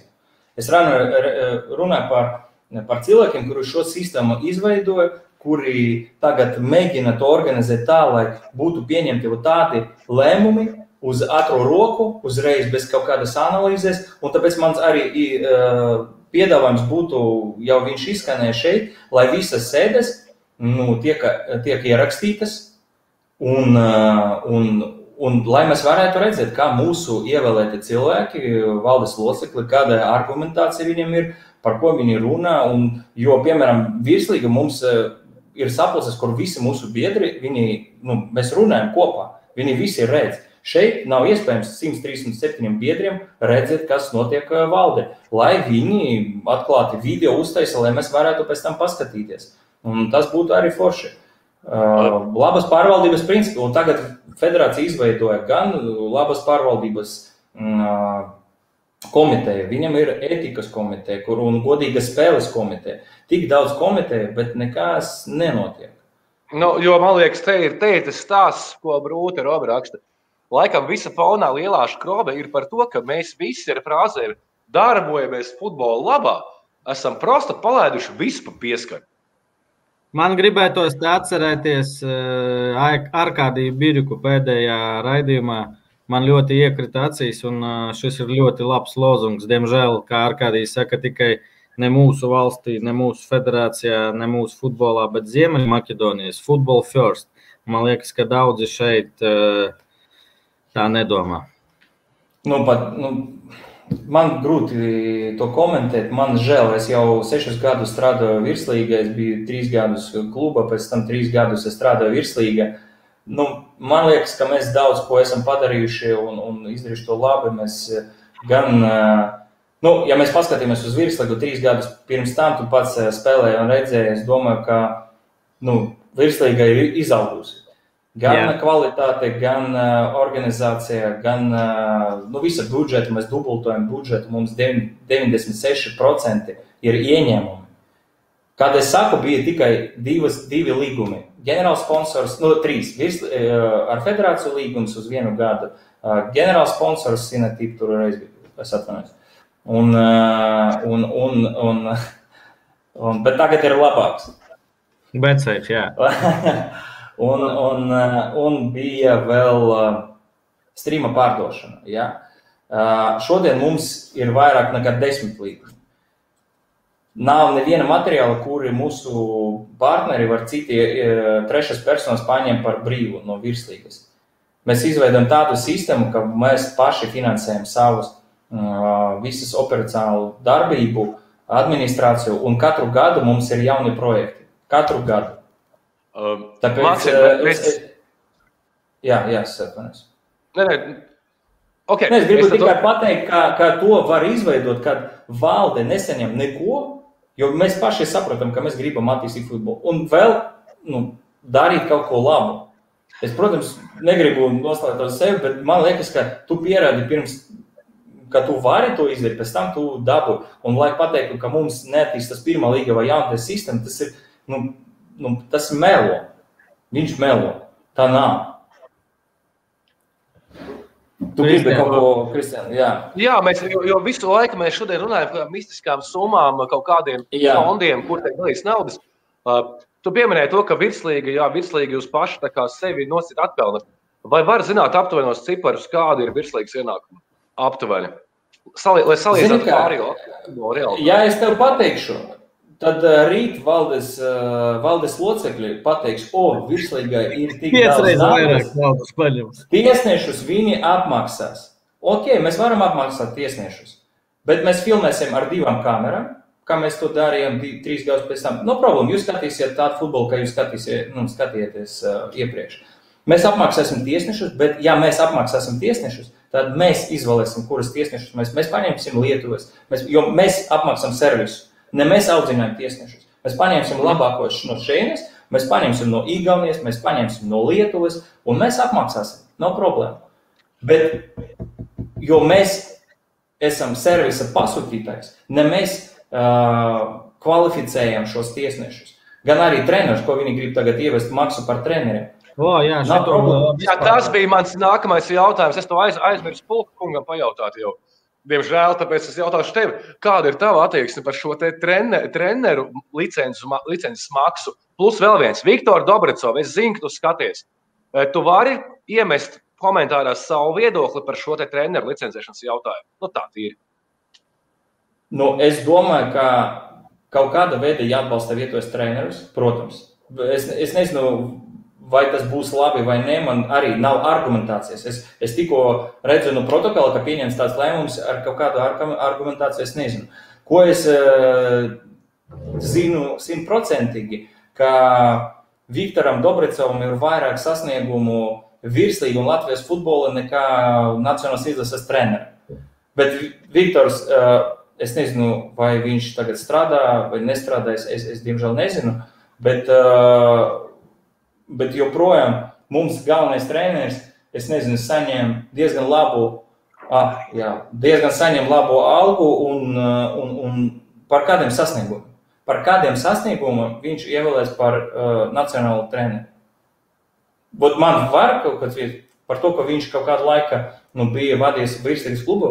Ja viņš šodien vadītu virslīgas klubu, pierādītu, jo virslīga spēlē katru nedēļu, un visi mēs redzētu, ka viņš trenē, ka viņam ir labi rezultāti, ka viņš spēlē ar vietējiem spēlētājiem, ko viņš vienmēr grib darīt. Tad mēs redzētu, ja šis treneris ir foršs treneris, viņš ir ļoti labs. Tad mēs varētu pateikt, ka viņš varētu būt mūsu tāds, nacionāls varenais un būtu izlases treneris. To, ka viņš pats sevi ievēlē, tā kā viņam ir kā sporta direktoram liela ietekme uz viņiem. Tas, man liekas, ka pēc trim spēlēm martā, kad mums būs, es domāju, ka diemžēl būs nulli punkti. Es domāju, mēs atkal runāsim par šo tēmu. Tāpēc rubrika Dainiem, es tāpēc uzrakstīju Dainijas auties, es, es piedāvātu biedriem, nu negaidīt šos jautājumus, jo ļoti daudz kas uh, bija uztaisīts nepareizi, un man liekas, ka Dainis neattaisnoja sevi kā sporta direktors un netaisno sevi kā nacionāls izlases treneris. Un man liekas, ka tas diezgan nelietderīgi izmanto, izmanto tādus resursus. Jo, ja mēs saskaitīsim no 2012. gada atkal analīze, cik saņēma Dainijas no federācijas naudas ziņa un kādi ir mums šodien rezultāti, ka mums ir 32 kandidāti. Desmit gadu, gandrīz desmit gadu laikā, 32 kandidāti uh, uz izlasi. Nu, man jautājums tad, tu vai, nu, tad es gribētu, ka valdes, tu, ja es būtu valde, es gribētu dzirdēt analīzi, kas notiek, kas nestrādā un, un uh, visas tās schēmas, kā sporta direktors nozīmē visas algas reģionos, kā mums ir uh, reģionos uh, saņem, nu, kā mums ir valdes loceklis, gan reģions, viņi saņem tur algu, tur algu. Viss tas sporta direktors, zemes sporta direktoram viņa budžets. Protams, viņš tagad ir izlases nodaļas vadītājs. Tas arī pārsteidz. Nē, Andrejs ir sporta direktors, bet izlašu nodaļu vadītājs ir Kevkala ar budžetu. Un man jautājums, kā var to visu apvienot? Kā to var apvienot? Es, man tas nav saprotams. Un, un, un, un man liekas, ka nu, mums, mums jāpadomās. Es domāju, ka es atklāti runāju, un, un es droši zinu, ka, nu, ka virslīga būs grūti. Par mums runas, ka es kaut kādā neetiski, man liekas, ka. Man liekas, ka, protams, futbola paliks vai nu Dainis, vai nu es. Es domāju, tā. Bet man nav problēma. Es ar viņu labi, šī labi. vai nu, vai nu Dainis, vai arī tu. Jo pašlaik tā problēma, man liekas, tā ir problēma. No malas liekas, ka ir tāds bijis aizgājis tāds pilsoņu kariņš. Ja? Par neatkarības karu to Nu. negribētu saukt, bet pilsoņu kariņš. Un man arī raidījuma laikā atnāca vairākas ziņas telefonā. Ja? Viena no tām bija aptuveni tāda, ka, ko tur, ko tur krīvoņies tur, tur mu- murkšķi, ja? Jo nu, tu esi principā, tu aizstāvi savus maizes tēvus, kas ir tur RFS un Jā. prezidenta birojas. Eh, Savukārt, nu, citas ziņas man nāk tādas, ka es pat nenojaušu Dāņa Kazakēviča ietekmi federācijā, cik tā ir milzīga. Ja? Eh, Tā kā laikam tur ir kaut kā tā. Nu, Un, ja mēs liekam, Jā. Un, ja mēs liekam kopā šos divus, nu, nav svarīgi, vairāk cilvēki deva šādus signālus. Ja? Un tad sanāk šobrīd no malas mans skats tāds, ok, ir, kad prezidenta birojas ir federācijā, un ir Dāņa kaut kāds, un tās ir divas dažādas organizācijas, principā. Nu, es, tev varu pateikt, kas, es tev varu pateikt, kas notiek. Ot, šito prezentāciju, kuru mēs redzējām, nu, viņa sagatavoja Dainis.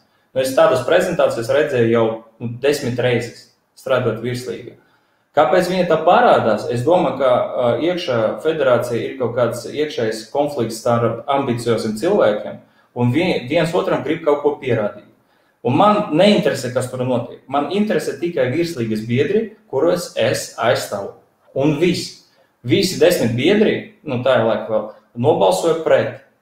Kad es redzu, kad man grib pateikt, tu strādāsi čaklāk, tu ar saviem klubiem maksāsi vairāk, tāpēc, ka mēs gribam saņemt algu, kā novirzīt naudu uz jauniešiem, man tas nepatīk. Un es runāšu par to. Kad valdes loceklis nāk pie virslīgas klubiem un tirgo ar akadēmiju, tas ir pret jebkuram godīgas spēles vai labas pārvaldības principu. Man tas nepatīk. Un, un es nezinu visas detaļas tur iekšā federācijā. Man nav šābu. Es zinu, ka, protams, visi var, var, var pateikt, ka es tur aizstāvu varbūt vadību, jo mēs strādājam vienā organizācijā kādreiz. Nu, Es, ticiet man, viņš ir diezgan dusmīgs par to, ko es runāju. Viņš man pat šodien zvanīja un, un teica, ka lai es būtu mierīgs, lai es netiktu, jo tas traucē. Nu, man jau apnika. Es negribu tērēt savu laiku, uh, sēžot vēl tur sešus, nezinu, trīs gadus un gaidot, kamēr mums tur nebūs tādu cilvēku kā Dani vai citi valdes locekļi, kuri rīkos tā, kā viņi grib. It kā tas ir privāts uzņēmums, un viņi grib rīkoties ar šo naudu, kā viņi grib. Tas UEFA, FIFA un biedru nauda. To jāsaprot. Es jau divas reizes parakstīju, tas, es nezinu, kā latviešu, tas non-disclosure agreement. Sabiedriskā organizācija. Yeah. Es jau divas reizes tādus parakstīju. Vai kas tas ir?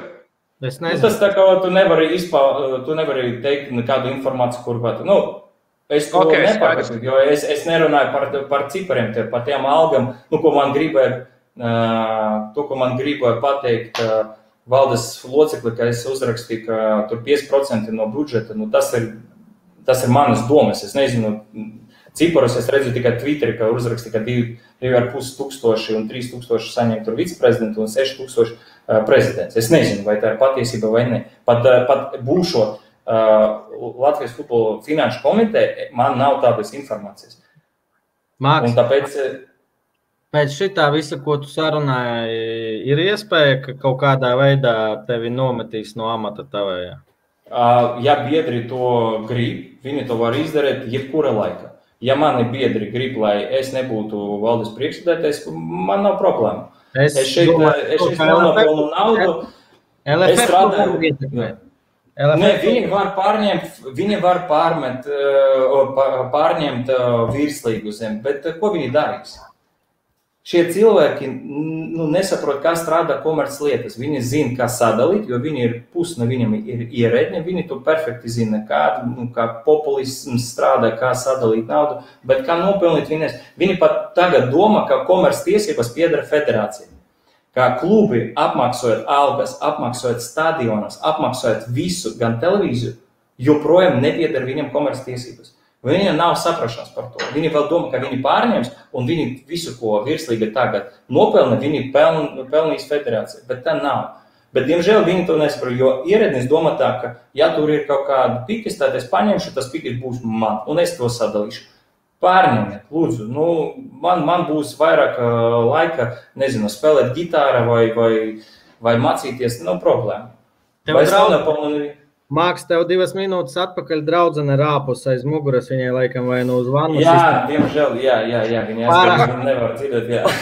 pārāk ilgi mēs runājām. Uh, Nē, nu viss kārtībā. Mēs šodien izrunājam dažas lietas, un es domāju, uh, nu, man liekas, ka pareizi runāt atklāti, jo esmu nogaris ļoti daudz kaut kādu slepenu kontu, tur Instagram, Twitterī. Nu, visi visu zina. Nu, davai pateiksim vienreiz atklāti, mainīsim sistēmu, un būs mums aprīlis, nezinu, kāda kongresa. Man ir piedāvājumi, ja biedri grib to, viņi to var atbalstīt. Ja viņi negrib, lai viņi tā arī dzīvo.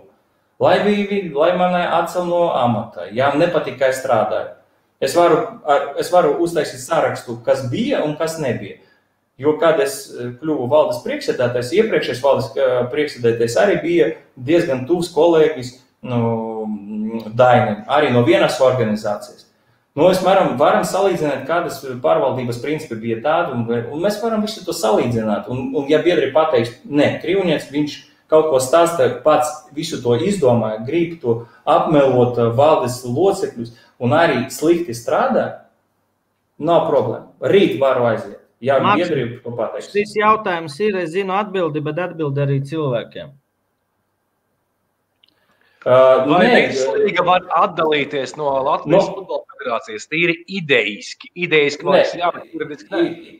Ir, da, ir dažas sistēmas. Mums ir diezgan klasiska sistēma. Man liekas, 18 uh, valstīs Eiropā ir tāda sistēma, kur uh, ir atsevišķa organizācija, kurai pieder komerctiesības, kur nodarbojas ar komerctiesībām un ar kalendāru. Tad mēs izveidojam kalendāru un apstiprinām ar federāciju visi disciplināri un reglamentējušie akti ir federācijas puse. Tā ir diezgan klasiska sistēma. Un joprojām mēs varam pārņemt tas regulēšanas aktu, bet man liekas, ka nu, nav jēgas, kur tas būs papildu, papildus vērtība. Tad uh, labāk diskusijas veida to, jo patiešām mēs nevaram, tad klubi var pieņemt, ka mēs spēlēsim tikai, piemēram, ar leģionāriem. Ja mums nebūs pat sistēmas 8-3, tas varētu būt, ja virslīga, piemēram, mums ir vairākums, mēs nobalsojam, tad mēs to varam pasakāt. Tas nav laba sistēma. Man patīk, kāda ir šodien sistēma, kā mēs strādājam kopā. Man nepatīk tikai tādas lietas, kas pagājušā nedēļa mēs redzējām, ka bez, nu, mēs jau desmit reizes par šo šodien izrunājam. Tas nav pareizi. Tas eh, ir pret labas pārvaldības principiem, un, protams, nu, man nepatīk populisms, ka mēs vienmēr, jebko mēs varam, katra teikuma mēs varam ieliekt uh, tas Latvijas futbolas labai. Jebkura teikuma, un viss skan ļoti forši, bet tā nav. Eh, Maksim, es, mēs baigi forši, man liekas, esam parunājuši, bet, nu, lēnām to visu apaļojot uz beigām, izskriesim cauri jautājumiem, ka mūsu skatītāji mums ir iesūtījuši dažiem, ja? Es neredzu šos jautājumus, lūdzu, lūdzu jūs varat. Tu, tu neredzi? At, es, ne, es, es tagad redzu vienu, bet es neredzu YouTube. Tur, Maksim, kā šo sezonu klājas ar sponsoru piesaisti virslīgai?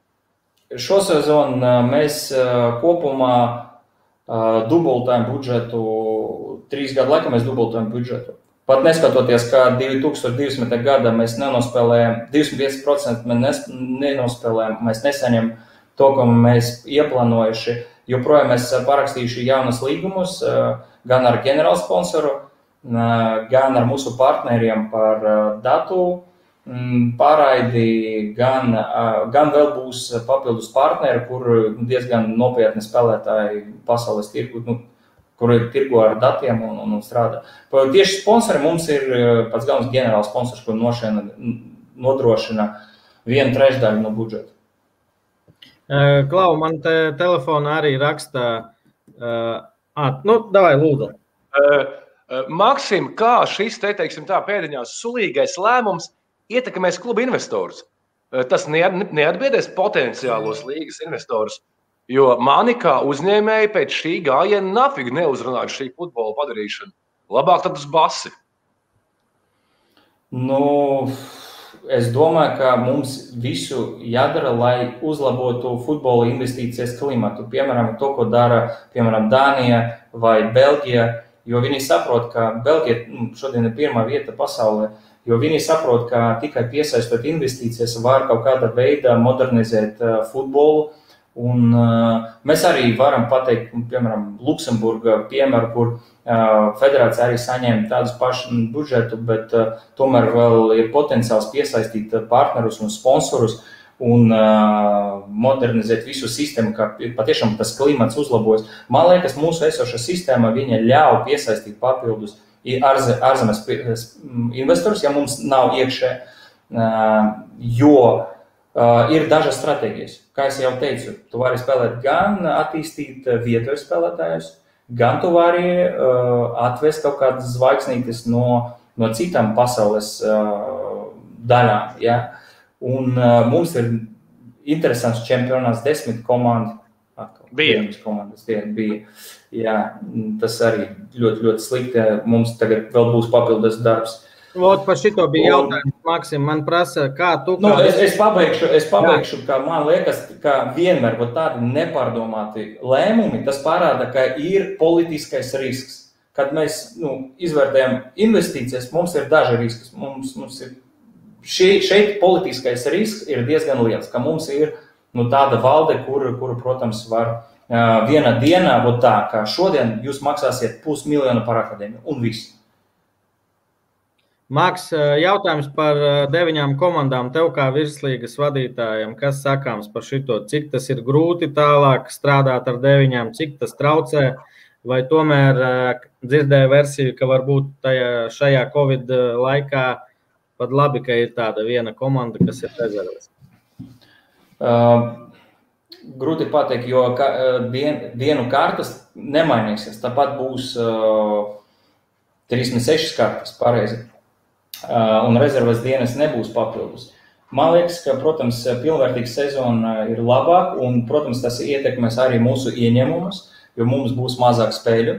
Mums ir vienošanās ar trīs televīzijām, ka mēs radīsim spēles, un mums ir sadalīts pakie, pa paketiem, cik daudz spēļu mēs radīsim katrā kanālā. Mums ir interese radīt spēles gan no Ukraina, Lietuva, Baltkrievija, arī no Serbijas ir interese, jo mums ir daudz spēlētāju no šī reģiona. Un, protams, mēs skatīsimies, kā to labāk visu izdarīt. Tas ietekmēs gan fantasy, gan visas pārējās lietas, kuru mēs gribam iztenot. Un, vairāk es pastāstīšu mūsu pirmssezonas preskonferencē, 11. man liekas, ka martā.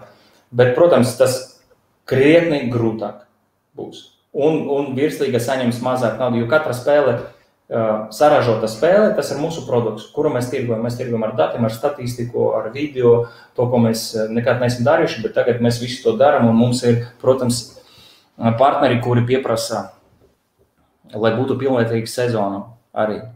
Okay. Izlasi jautājumu. Vienu, davai trīs vēl, jo jau pusdienu. Okay. Rasnais jautā, vai virslīga augot tādos tempos sponsoru piesaistē, nevarēs drīz sākt klubiem maksāt nelielas naudas prēmijas par ieņemtajām vietām čempionātā? Vai iekļūšana Nu, virslīgā? Jā, tas būtu forši, bet pagaidām mēs nesasniedzam vēl tādu potenciālu. Jo šodien to, ko mēs eh, devam klubiem, diemžēl ir ļoti maz. Nu, mēs devam, protams, mēs filmējam, mēs eh, visas spēles ir materiāli, kur viņi izmanto, bet tas, protams, nav uh, nu, samēros. Laba vieta, lieta ir tā, ka pagājušā sezona pirmo reizi televīzija uh, līdzfinansēja mūsu produktu. Nekad virslīgas vēsturē televīzija nelīdzfinansēja. Tas parāda, kas mūsu produkts uh, uzlabojas. Bija labs, atzīšu, bija labs.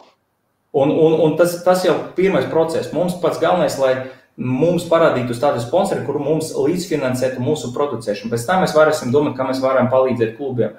Šodien mēs viņam palīdzam tikai ar statistikas datiem, jo mēs eh, parakstām līgas eh, līgumu ar eh, vai, nu, mums pagājušos gadus bija Instat, un mēs nodrošinām viņam statistikas pieeju un, un visas atskaites. Tas ir nu, vispār nav salīdzināms, protams, ar citiem. Bet pagaidām ne, mēs to nevaram darīt.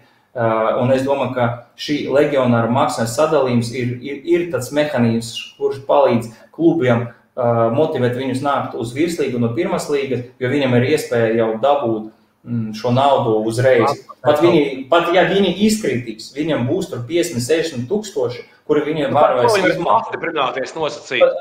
Bez bez tam uzvarēt pirmo līgu atgriezties. Tas ir ļoti labs mehānisms, man liekas. Tāpēc, diemžēl, nē. Atbildi tagad nevaram. Labs jautājums. Aivars uzdeva laikam. Tur bija daudz jautājumu, es neredzēju. Nē, es ne.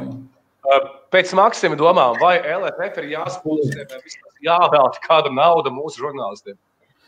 Nu, man liekas, ka žurnālisti ir ļoti svarīga sastāvdaļa no futbola vispār popularizēšanas. Tas, es nedomāju, ka pat taisnu tur jāmaksā žurnālistiem, jo ir komunikācijas nodaļa, kura strādā, bet uh, strādāt ar žurnālistiem, taisīt kaut kādas žurnālistu brokastis vai nu, runāt uh, par aktuāliem tēmām un, un būtu caurspīdīgiem, lai žurnālisti varētu nu, taisīt tādas analīzes, piemēram, par ieguldītu darbu, ka, ka, cik biedri ieguldīja naudu šai virzienā un kādus rezultātus mēs sasniedzam. Tad mēs varam nu, saprast, kur mēs esam, mēs varam arī paskatīties uz mūsu kaimiņiem, uz citiem piemēriem. Mums būs materiāls, ar ko strādāt. Bet man liekas, ka mūsu žurnālisti, nu, man ir liels prieks, ka ap virslīgu veidojas tāds žurnālistu pulks, un mēs gribētu jūs arī kaut kādā veidā atbalstīt. Tad būs mums ietver, protams, mēs abonementus uh, iedodiet, mēs būsim priecīgi. Māks, par šito tas ir tāds jā. jautājums. Jā, jā. Tas ir labs jautājums, kuru,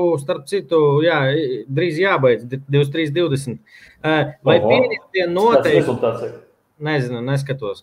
Vai pieņemtie noteikumi iepriekš par legionāru limitu, tagad par leģu reģistrācijas naudām nav atrunāti ar līgumiem un noteikumiem termiņiem?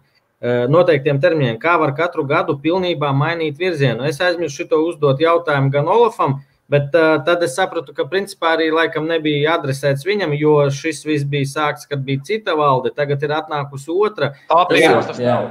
Varbūt tas ir uh, tāds pat kā pārmetums jums, kā virslīgai. Kāpēc tas nav uz papīra? Jo, kā šeit rakstīja arī iepriekš, uh, džentlmeņa vienošanās, diemžēl, mūsu laikos vairs nestrādā. Nu, tā. Tas nestrādāja, tas jau parāda, bet zin, bija tāds laiks, kad nu, jāmeklē kompromisi.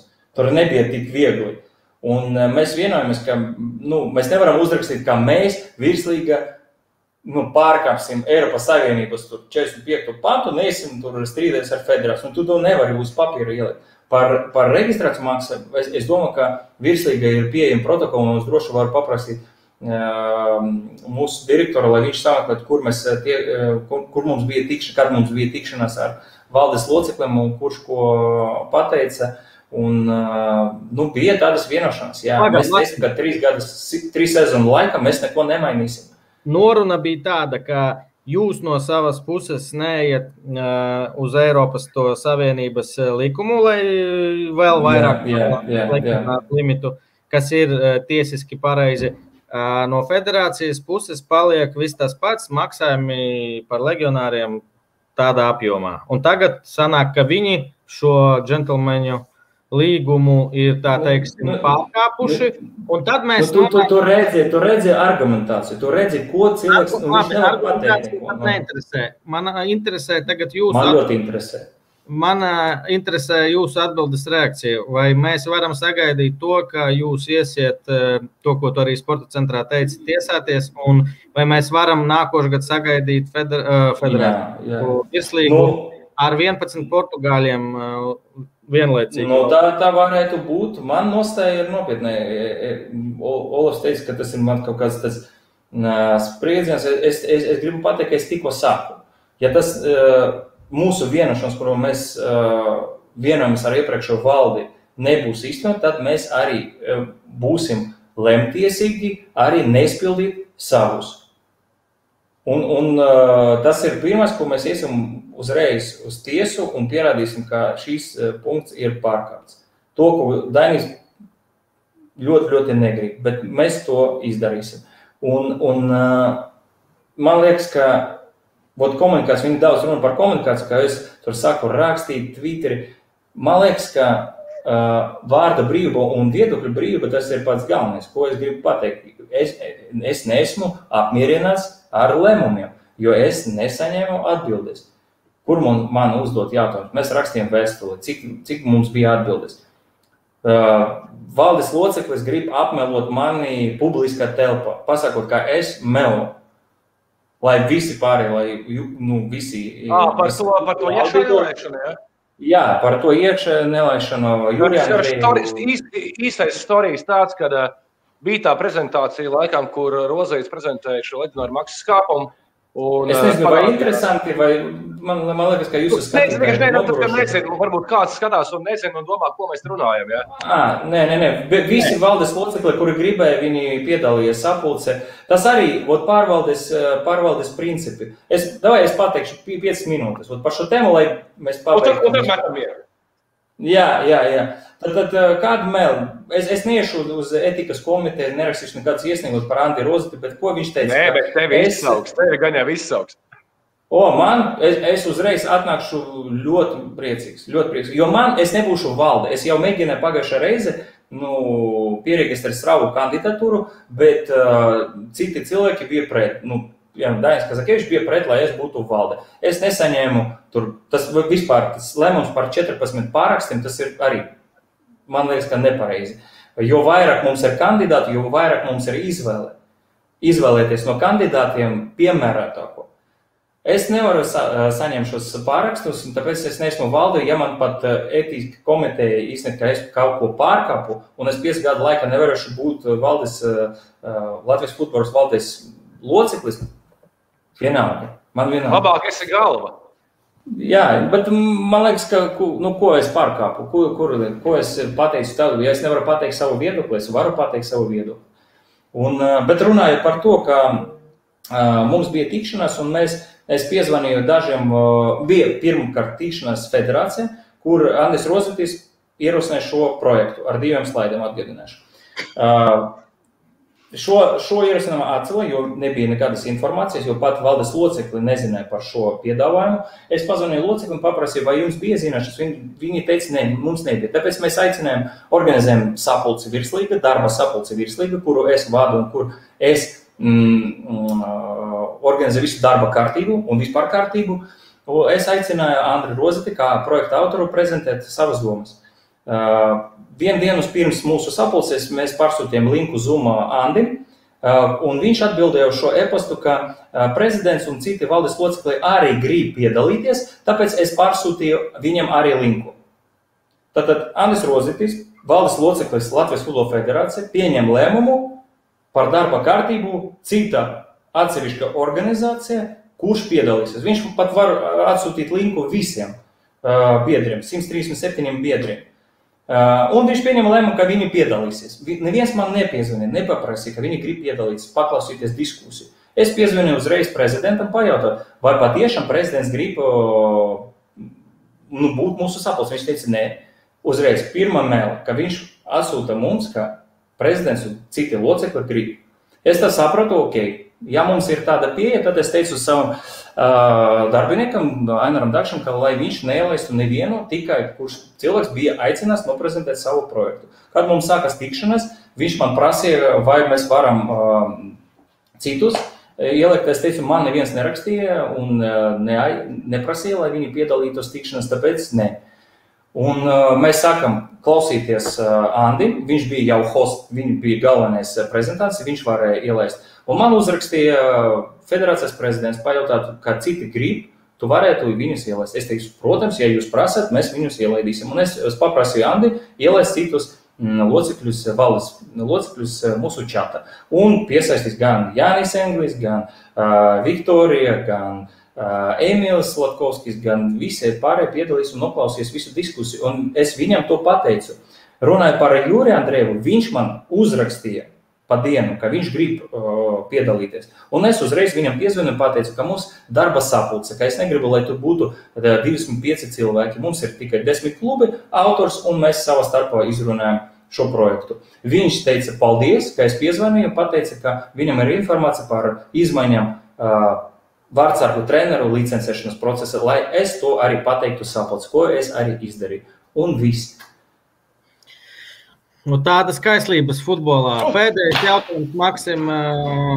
Vai jūs varat ar saviem virslīgas desmit biedriem boikotēt sezonas startu, vai pastāv šāds scenārijs, ja šis jautājums paliek šādā versijā?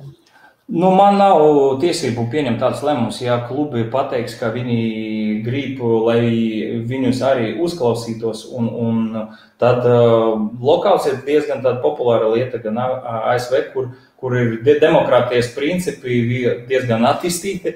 Un es domāju, ka klubi var to. Viņi iegulda naudu, viņi maksā algas treneriem, viņi maksā Latvijas treneriem, gan ārzemniekiem, visiem. Viņi maksā spēlētājiem, viņi maksā uh, stadiona darbiniekiem, viņi apmaksā stadionus. Visu apmaksā klubi. To jāsaprot. Un, un, ja viņi pieņem lēmumu, ka viņi negrib spēlēt ar tādiem nosacījumiem, tad es, es nezinu, ko, ko darīs federācija. Bet tas nav mans lēmums, un es tādu pat lēmumu negribu ierosināt ne valdi, ne, ne, ne ja viņi paši to grib. Tad, Man liekas, ka šis ir. Es... Divas, Jā, divas... saprast, ka tas, es šodien izparu savu viedokli par sistēmu, par, par valdes locekli, tas ir mans privāts viedoklis. Par Dainu tas ir mans privāts viedoklis. Par vispār, bet par to, ko par legionāru maksu palielināšanu, tas ir desmit klubu viedoklis. Nu, virslīgas viedoklis, jā. Deviņi. Es, nu, deviņi, jā, tagad. Klau, 2,30, 2 stundas 30 minūtes. Wow, wow, wow, šis garākais strīms, kāds mums ir bijis. Nu, jūs varēsiet sagriezt pēc tam, es domāju, ka aizies vēl vienu nedēļu, divas nedēļas, nu, būs materiāls. Jo es arī tā, tā, tā, tā bija mans mērķis, lai šis jautājums nepazaudētu. Jo dažreiz uh, valde, federācijas valde domā, ka mēs tagad šodien nobalsosim, pēc tam neko neuzrakstīsim protokols, visi aizmirs, un tas aizies tālāk. Es gribu viņam pateikt, ka tu, tas, tas, būs, tas ir tikai pirmais vilnis, jo mēs runāsim par šo tēmu atkal un atkal, kamēr mēs patiešām labas pārvaldības principus mēs nesaprotam. Maksim, tu zini, kā strādā uzņēmums. Mēs ar Kristiānu sākam saprast, kā strādā YouTube. 220 šobrīd skatās, 260 bija un vairāk salieciet laikus, Johaidī. Saka, ka YouTube tā vajag. Māks, paldies tev, un es tiešām gribu, lai jūs atrodat kopīgo valodu. Droši vien, ka šeit var saprast, kurā pusē esmu es, bet tas ir tiešām mans personīgs viedoklis. Tas es... ir katram personīgs viedoklis. Es domāju, Labs žests būs, ja rīt Jānis Engels uzrakstīs iesniegumu. Tas jau būs parādījis, ka patiešām nu, mums kaut kādi principi tomēr ir futbola. Ja nē, nu tad es domāju, ka es viņam palīdzēšu nākamā kongresa to ierasināt, lai citi biedri pārunātu par šo nu, ētiku, ko viņi ļoti grib nu, pārunāt ar, ar mani komiteja. Tāpēc mēs paskatīsimies, kāda reakcija būs rīt, un pēc tam paskatīsimies, kā būs pēc nedēļas. Bet visiem pārējiem es novēlu jauku vakaru, un, diemžēl, mēs šodien nepaskatījāmies.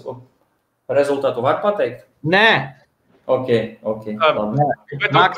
Uz šīs pašās nocerī, ja, es gribētu iepīt varbūt mūsu draugu, kurš augšējā stūrītī, ja, tajā, vai kurā.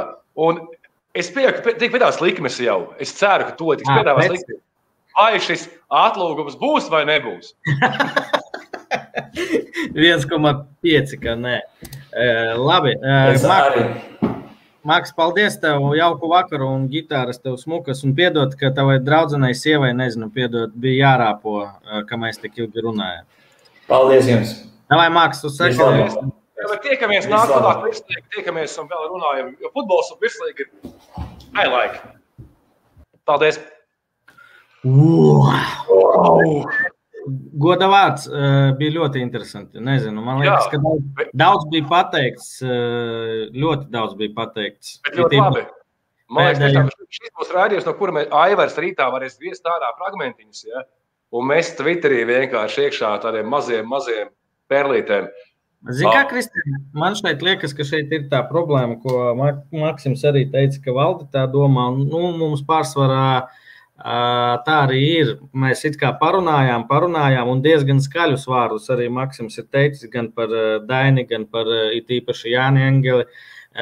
Olofs, Olofs arī skaļus vārdus teica par Maksimu to, kā viņš teica, Valentīna dienas uzplaiksnību vai kā, bet Olofs vairāk runāja tā pa, pa, pa, pa mākoņiem. Uh, Es ļoti ceru, ka šis raidījums kaut ko izmainīs, kaut kā vismaz aizies kontakts, jo nu, tā kā šobrīd tas notiek, tas nav normāli. Un skaidrs, ka es esmu klubu pusē, kaut arī biju iepriekš eh, pret šo limitu, bet eh, jā, jā ir spēles noteikumi.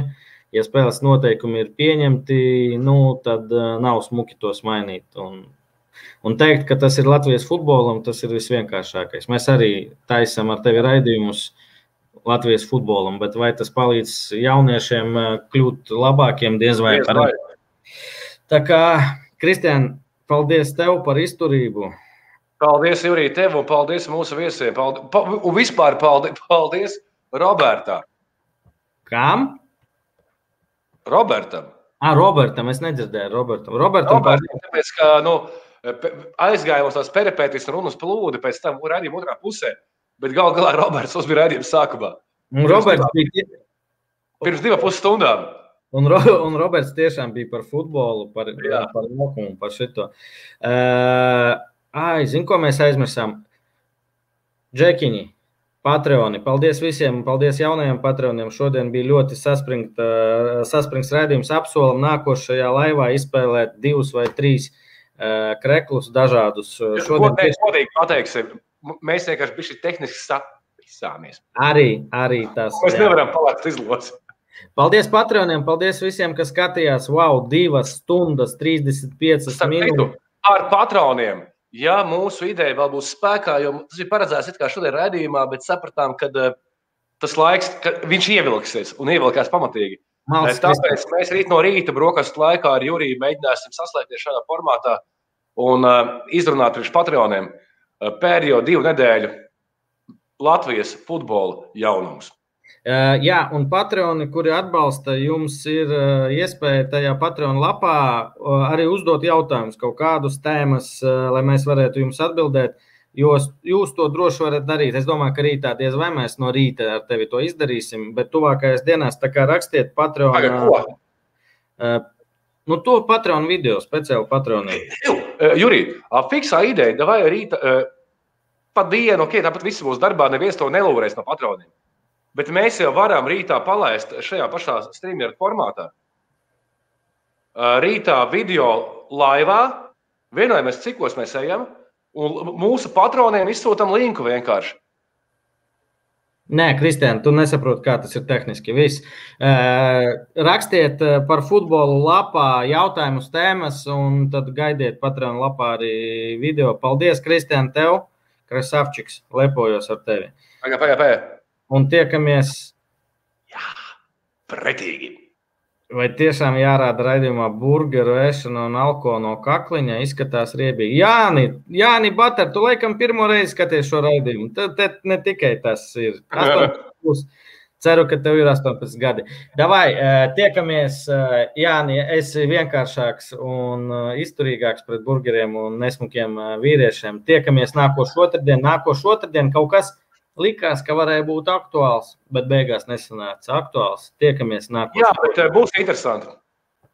Čau!